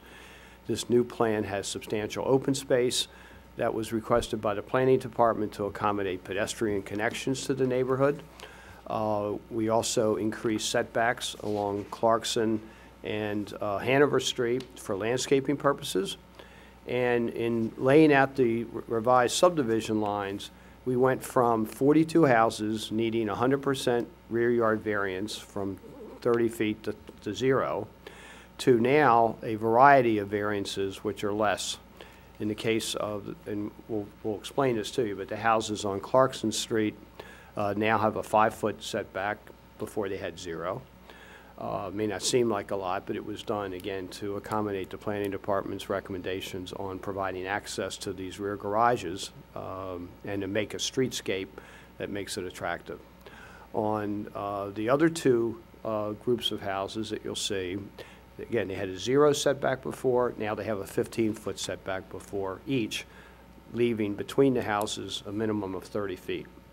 Uh, So we think the, uh, the changes affect 100% of the houses, and the amount of variances needed go from 100% variances to much less than that. And we think, we'd like the board to consider that as a substantial enough change to rehear it. Um, Before, unless you want to, maybe to help, we could have the plan elaborated on so that physically you could see what these look like. Please. Mr. Davis. Everybody see? Yep. You want to just identify yourself. Sean Davis, principal with Morris Ritchie Associates. So for orientation, we have Hanover, we have Barney, and we have Clarkson. As um, Mr. Barry had mentioned, multiple uh, differences between this and the, and the last plan that you saw. First, all of the homes that are fronting onto Hanover have been pulled off of Hanover to provide an additional planting in front of the home at the uh, suggestion of the planning department. Second, the, this was proposed, previously proposed as a public street. It is now a private drive, so we've been able to pull the rear yard into the center of the private drive, providing a minimum of a 15-yard rear yard setback for both the homes on Hanover Street and the homes facing this mule. The next major modification was pulling the homes on Clarkson five feet in, off of the property line, um, at the request of, uh, planning department to provide better access in and out of the garages. The next major modification was providing a direct pedestrian connection down Clarkson all the way over to Hanover Street, um, to, to allow pedestrian movement from, you know, basically from Hanover to Clarkson via this route, and providing substantial more open space and landscaping uh, buffers from these homes base here onto our adjacent neighbor here. We've also modified the architectural treatment of these three homes that side onto Barney Street, so as they appear as the, the front of the homes. That was a question that was raised by uh, Planning Department. We've shown that there is provision for additional on-street parking on Clarkson here in this location. Um, and I think that covers all of the modifications from our prior plan. And just to uh, refresh the board's memory, the property itself is an industrial property um, that was rezoned in 2007, I believe, from industrial to commercial, B23, with the anticipation at the time of residential redevelopment. Uh, I have a number of other arguments about why this should be approved by the board, but in terms of the variances, or this, this, the changes, if you want to concentrate on that or ask us any questions. Yeah, we'll take that part first. Um, you didn't have like an overlay or, um, uh, or a board of the prior plan, did you? I do not. uh, Okay, that's- Unfortunately. But fundamentally, all of these homes shifted to the west, all of these homes shifted to the east. These homes shifted fundamentally to the east as well, Mhm. enlarging the open space system here. So all of the homes have moved, all of the rear yards have moved. We've lost the, the uh, home that was located down in the southernmost portion to provide for that pedestrian connection through. Mhm. Um, So if I had an overlay, which I apologize, I don't. That's all right. That's what I would. All right. Um, David, do we have the, um, opinion that was issued in the case? Yeah. Okay, all right. Um, Ms. Rue? Well, that's, I'm sorry, Mr. Berry, if you had anything further. Well, I, I- if, if the board would allow us, we could go into uh, some of the arguments why this uh, uh, should be approved by the board today, Uh, if you, if you want to go into that. As Uh, far as the substantive issues, get- addressing the request for variance and the like? Yes. Okay, we'll stick did- to the, um, uh, the The issue, change. I guess the threshold question for now. Uh, wait. One Yeah. more, one more additional item, if I can. One of the questions that was raised by the planning department in our initial application was a question about the curb cuts that were proposed along um, Clarkson Street. And there was a question whether or not they would be permitted. It's important to note that we have gotten the approval from the Department of General Services for all of those curb cuts, which Okay. is also a substantial change from the prior plan. Okay. Sorry.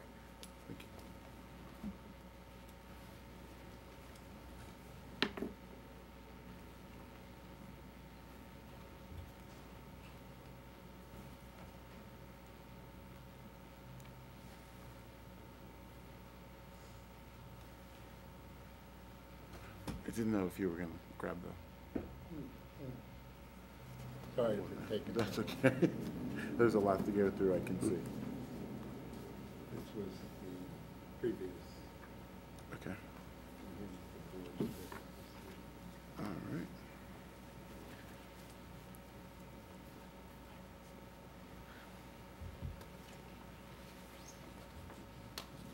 Just a moment.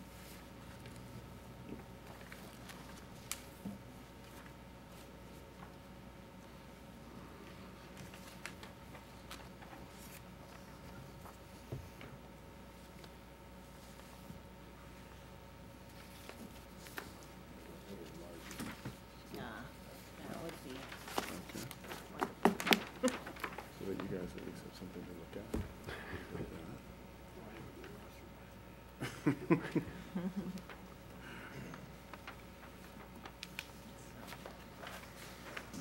So there, there was hundred percent of the properties had hundred percent rear yard variances going from thirty to zero. Now we have ten properties going from thirty to five, and we have twenty-nine properties going from thirty to fifteen.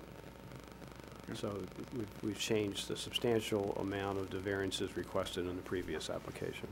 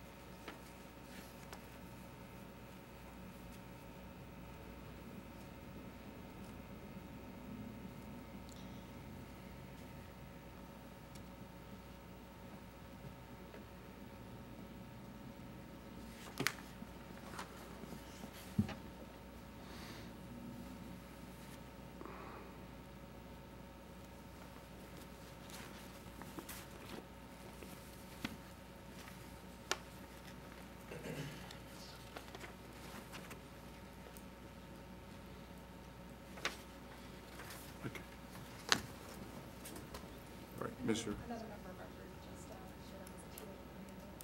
Um, no, we can swear him in. Hi, sorry. Okay. All right, Ms. Rue? Uh, sure. Sir, if you can raise your hand, and be sworn, please. Yes, right hand. Do you swear or affirm the testimony that you're about to give in this hearing will be the truth, the whole truth, and nothing but the truth? Yes, sir.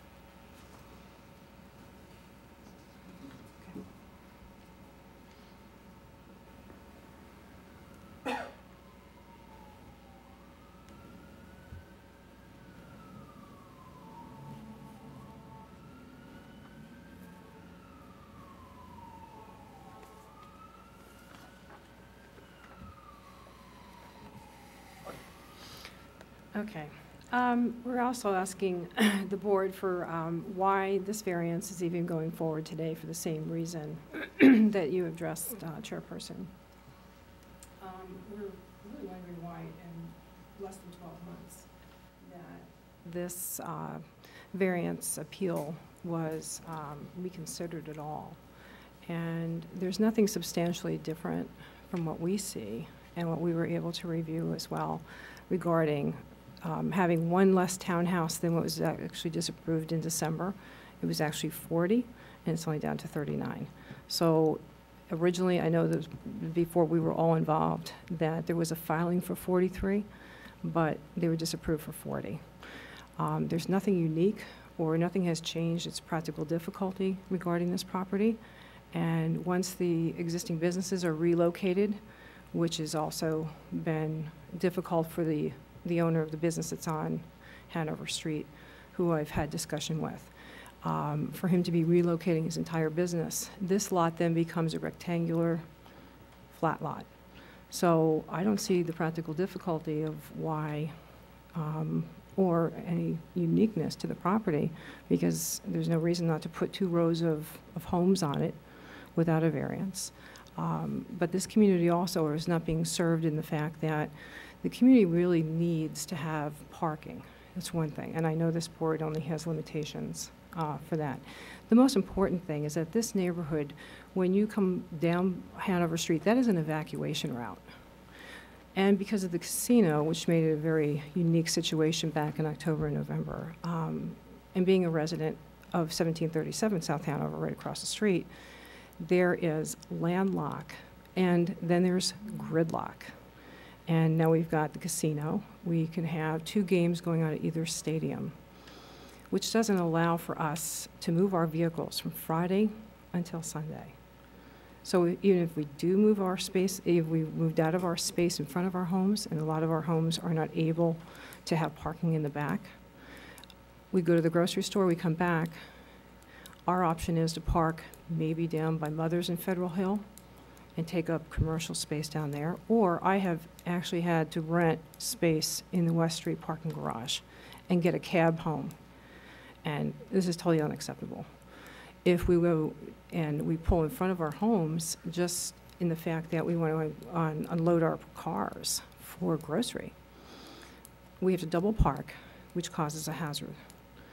We have handicapped accessibility, which is very, very limited now. And there's a whole new, since this whole um, street is now being redone, there's an extension of sidewalk to make it ADA compliant on our side Well, that kind of was part of this back also. into the, um, the substantive consideration that we had the last time. The negative impact, Um, right.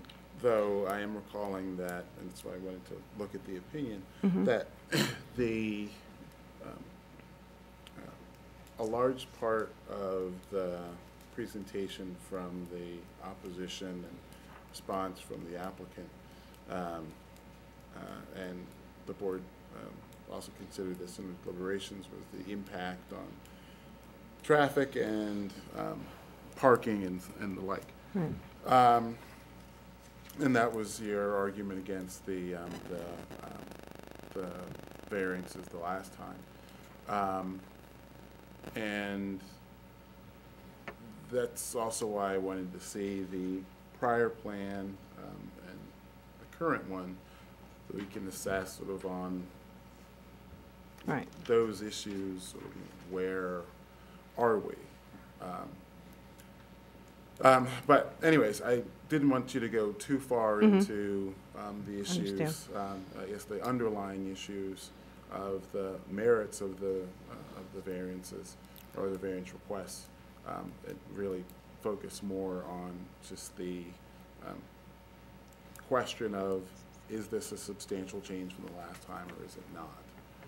Um, And I think what you had already said was that it wasn't, from your perspective, and I'm guessing that that was an allusion to your prior stated concerns of um, parking, traffic impact, and so that this, from that perspective, is the same. That's one, yes.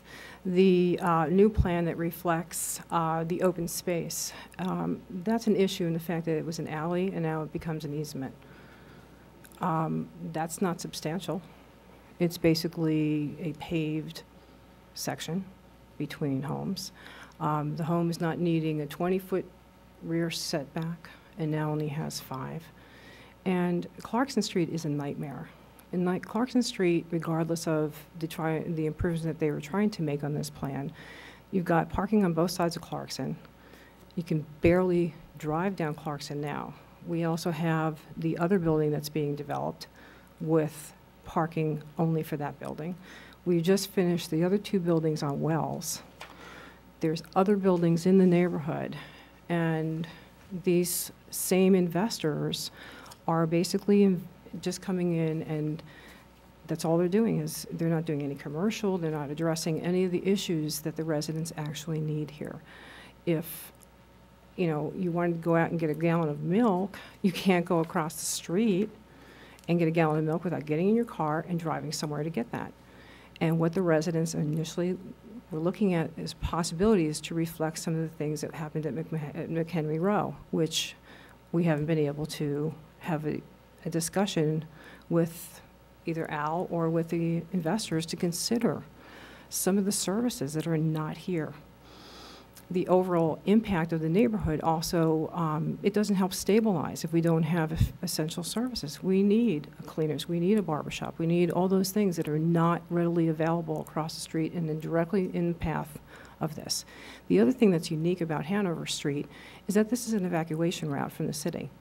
And now you're asking for potentially all of these units to have up to four cars. And coming out onto Hanover Street in the morning does have a negative impact on the neighborhood. It does have a, a negative in- impact on the traffic flow. So there's nothing that's unique or different that has changed since the last plan that I see. Reviewing the plan, looking at this. Um, also, I don't see where it's delineated on this new plan that these homes, the width of these homes are on that plan that's right in front of you that says the width, right, or even the new one. The- width of these houses are clearly defined as far as the width. And then we're looking at two parking spaces, or is it going to become one? And that was a question that we also had. Sixteen feet. Is the, um, is the width of the, Right. of the width of the. On that houses original plan, right, I saw that. But on the actual plan that was just resubmitted, which was this one.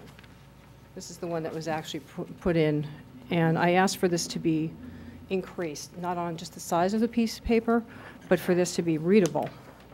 Okay, and we can read the plan, but the thing is, we're sitting here looking at, you know, really tiny print, and it upsets um, the flow of the folks that were looking at it, even as residents, because we, we just didn't see what, you know, the differences were.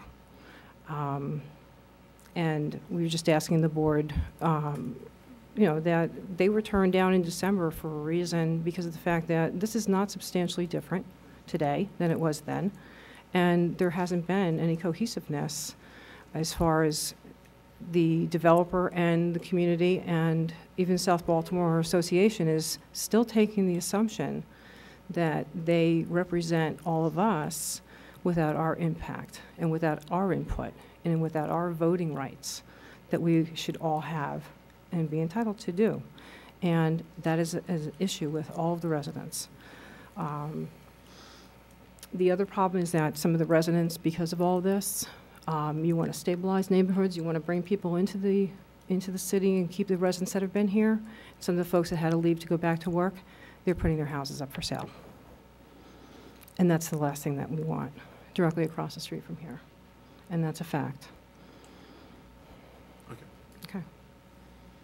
Did you all have anything that you wanted to state to this issue, or? This is, for right now, it's just the issue of whether or not there's a substantial change in the plan. Um, uh, Hi, um, I'm Richard Snyder. This is my wife, uh, Lauren Vernamonti. Um, We are uh, residents of the 1700 block, uh, South Hanover Street. Can we get a spelling on your last name? Yes. Um, it- V as in Victor, E R N A, M as in Mary, O N T I. See if that works. Um, You were speaking about the fact that uh, if the issue is at hand, that um, if there was a substantial, substantial change from the previous um, submittal to this one. Um, From my opinion, uh, there is not. Um, The main thing I, I'm concerned about and was brought to my attention um, uh, four days before a meeting with the developers of this is happening, is there was no communication, and then when there was communication, um, it is, the decision was essentially made. Um, We fought that before, And as, as now, we were, had issues with communication. I was unaware of this until uh, the resubmittal, when the original assumption was that it was a year waiting period, and it was submitted within that wait period. Um, And then we were able to rush to try to uh, get the community and, and look at these plans. And I can assure you, um, uh, the past couple nights with freezing cold nights, I personally walked to every resident on 18 and uh, 1700 block. Uh, I tried uh, two, three nights to get people with flyers and information to allow for them to get here, to point out what is occurring and the, the difference, and to please voice their opinion. And while I did meet th- those that did agree, um, I met more that said not. And the more that were like, that had said that there was no communication from this SBNA as far as what is going on. I've tried my due diligence to make sure that people are aware of what exactly is occurring and how little of a difference it is. Um, one house does not account for the fact that a majority, a fair amount of people in Federal Hill rent. And the, and the maximum amount of people that can live in a house are four. I cannot leave my, hou- right now is five o'clock. I can tell you, I can go home right now, I'm not gonna get parking within four block radius most likely of my house. I have to be home by five, seven o'clock, or else I'm not getting parking. I have to park four or five blocks, or I, I park at this place, which is, uh, my wife is afraid to walk home because it's the closest parking, and I have to get in the car to go with her because it's uh, where that doggy daycare is, and it it's not it's not great. Yeah, you, the, the the street can't get fixed, the lighting is terrible, and I can't I can't assure her safety unless I'm there, and then I have to walk home myself, and I personally don't like it. This is not a change. This is something that is going to put more people in Federal Hill. That is not a good balance for Federal Hill. There's no balance in livelihood. There's just cramming people in like sardines, and it is not going to be healthy for the neighborhood, which I love. And I would like to say I'd like to remain in the city, but I'm being convinced otherwise. And I know that is not what the board wants. So, thank you for your time. Thank you.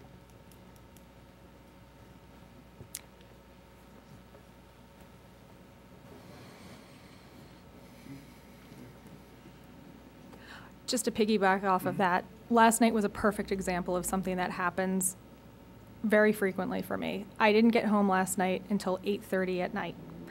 When I pulled up in front of our house, there were no parking spaces. My husband had to come out and help me unlo- unload the trunk of my car with my huge briefcase and all of my testing materials for my job. And then after that was safely in the house, then I was able to park my car. This is something that happens all the time. Sometimes I get lucky and I find a spot that's maybe two blocks away from the house. There's been nights, especially if it's a game night or if it, if it's particularly cold or there's been bad weather that day, I have driven around for in excess of 30 minutes. The problem is that the, what, the main problem I see is that these homes are being marketed as single-family homes. Federal Hill is a renter's market. There's not a lot of uh, us homeowners and taxpayers who are just a single family. Most, most of the new residents that we see coming into these homes are young, 20-something, recent college grads living with two, three, four roommates. So when I see this plan, I assume that four people are going to be living in most of those homes, which is at least four cars. The traffic congestion, as Lee said, is already really bad. On a, on a game day Sunday, I'm not moving my car because I know if I do, I will not be able to park my car when I come home. We're thinking of starting a family. I don't know how I'm going to come home with groceries and a stroller and a diaper bag and not just want to cry because I, I don't know how I'm going to get back into my house. We are landlocked for entire weekends. And after 5 p.m. on a, on a, on a work day, that's it. And for those of us who work outside of the 9 to 5, it's a nightmare. So that's my concern. Um, Martin, was there any considerations in the, within the planning department as far as, um, the issue of substantial change and whatnot, or was that not an issue that was examined? Planning Department did not consider that issue, quite frankly. All right, uh, Mr. Berry? Well, I think we're hearing a lot of arguments why this property should not be redeveloped for residential. Um, I think that, um, South Baltimore. In particular, many of the board members may be familiar with the, there has been change in South Baltimore. Many of the industrial properties were converted to apartments or they've, they've been converted to new houses. Um, I would again point out that we're providing two spaces uh, per unit. The zoning code requires one. Um, Redevelopment for commercial wouldn't necessarily add parking to this problem that uh, some neighbors are experiencing. And there's a, there's a value, you'll hear from some of the neighborhood association that we met with over several months, including neighbors on this block. There's a disagreement between people that feel that this industrial warehouse uh, ought to be replaced and environmentally cleaned up with new single-family homes for sale. You'll hear from the owner uh, in a minute that can testify. He's active in the real estate market in that area. He's been involved in numerous redevelopments of similar properties for this, with similar variances approved by the board. I would say that the substantial number of variances that have changed is sufficient reason, as it was in Crittenton, the exact same situation, is sufficient reason for you to consider the appeal on its merits today. And on its merits, we can get into issues like the amount of density that's being provided on this site is uh, basically almost exactly the same as the area to the immediate north. We counted up the amount of buildings on the block immediately north from Hanover to Clarkson, the same area, and there, those, there are 40, let's see, 41 attached buildings fronting on Barney, Hanover, and Clarkson in the exact same site area that we have on this site. So we're not overcrowding in this case, uh, as was, as was mentioned. The density would allow almost up to 96 units on this property if we were going to build an apartment building. 96 units with 91 parking spaces. That's all that would be required, and nothing would necessarily change. We're, we're reducing the density substantially by this. We're bringing in home ownership. Nobody can, can ne- necessarily predict whether somebody rents or not, but the economics of buying a new house uh, would, and we'll have Mr. Mitchell testify to this, would not lead me to think that many of these, if any, are going to be rented. Not saying they couldn't be, but uh, we are providing two-car parking for each one. We also think it meets the standards, uh, which we'll get into, but maybe we'll let Mr. Mitchell, who's a local resident and developer, and as well as the neighborhood association, who has met continually on this and continually supported it. So we have a disagreement, frankly. Shane, do Hi, my name's Shane Mitchell. I'm the owner of the property. Um, I've been a resident in South Baltimore since 1993. I've opened a company that's located at the 1100 block of South Charles Street, and it's been open since 1998. We've uh, developed and, and built many single-family houses, renovated many single-family houses, did mixed-use developments, um, both commercial, obviously, and residential. Um, Deciding to the point of, will these be targeted as, as investor units and filled with, with, uh, you know, more than two people? Um, You you can't tell who's going to buy them, but the marketing, you know, these are going to be 450-plus houses. Um, Not many young, young professionals come out and can buy that house, first of all. Uh, Other developments that we're doing and have done in South Baltimore, our target buyers are families, um, young professionals, professionals in general, you know, all different age groups. Um, There was a downturn in the market where some of the houses were running out some of the developments I've done. As we speak, since the market's turned around and property values have come back up, they're either staying in those houses with, uh, moving back into the city or selling those houses to new families. Uh, It's been an explosion in South Baltimore with a number of baby carriages that, uh, including myself. So you see a lot of families that are staying in these houses, and they provide two-car parking. Like, for instance, my house, one car only leaves the house every day, and that's me.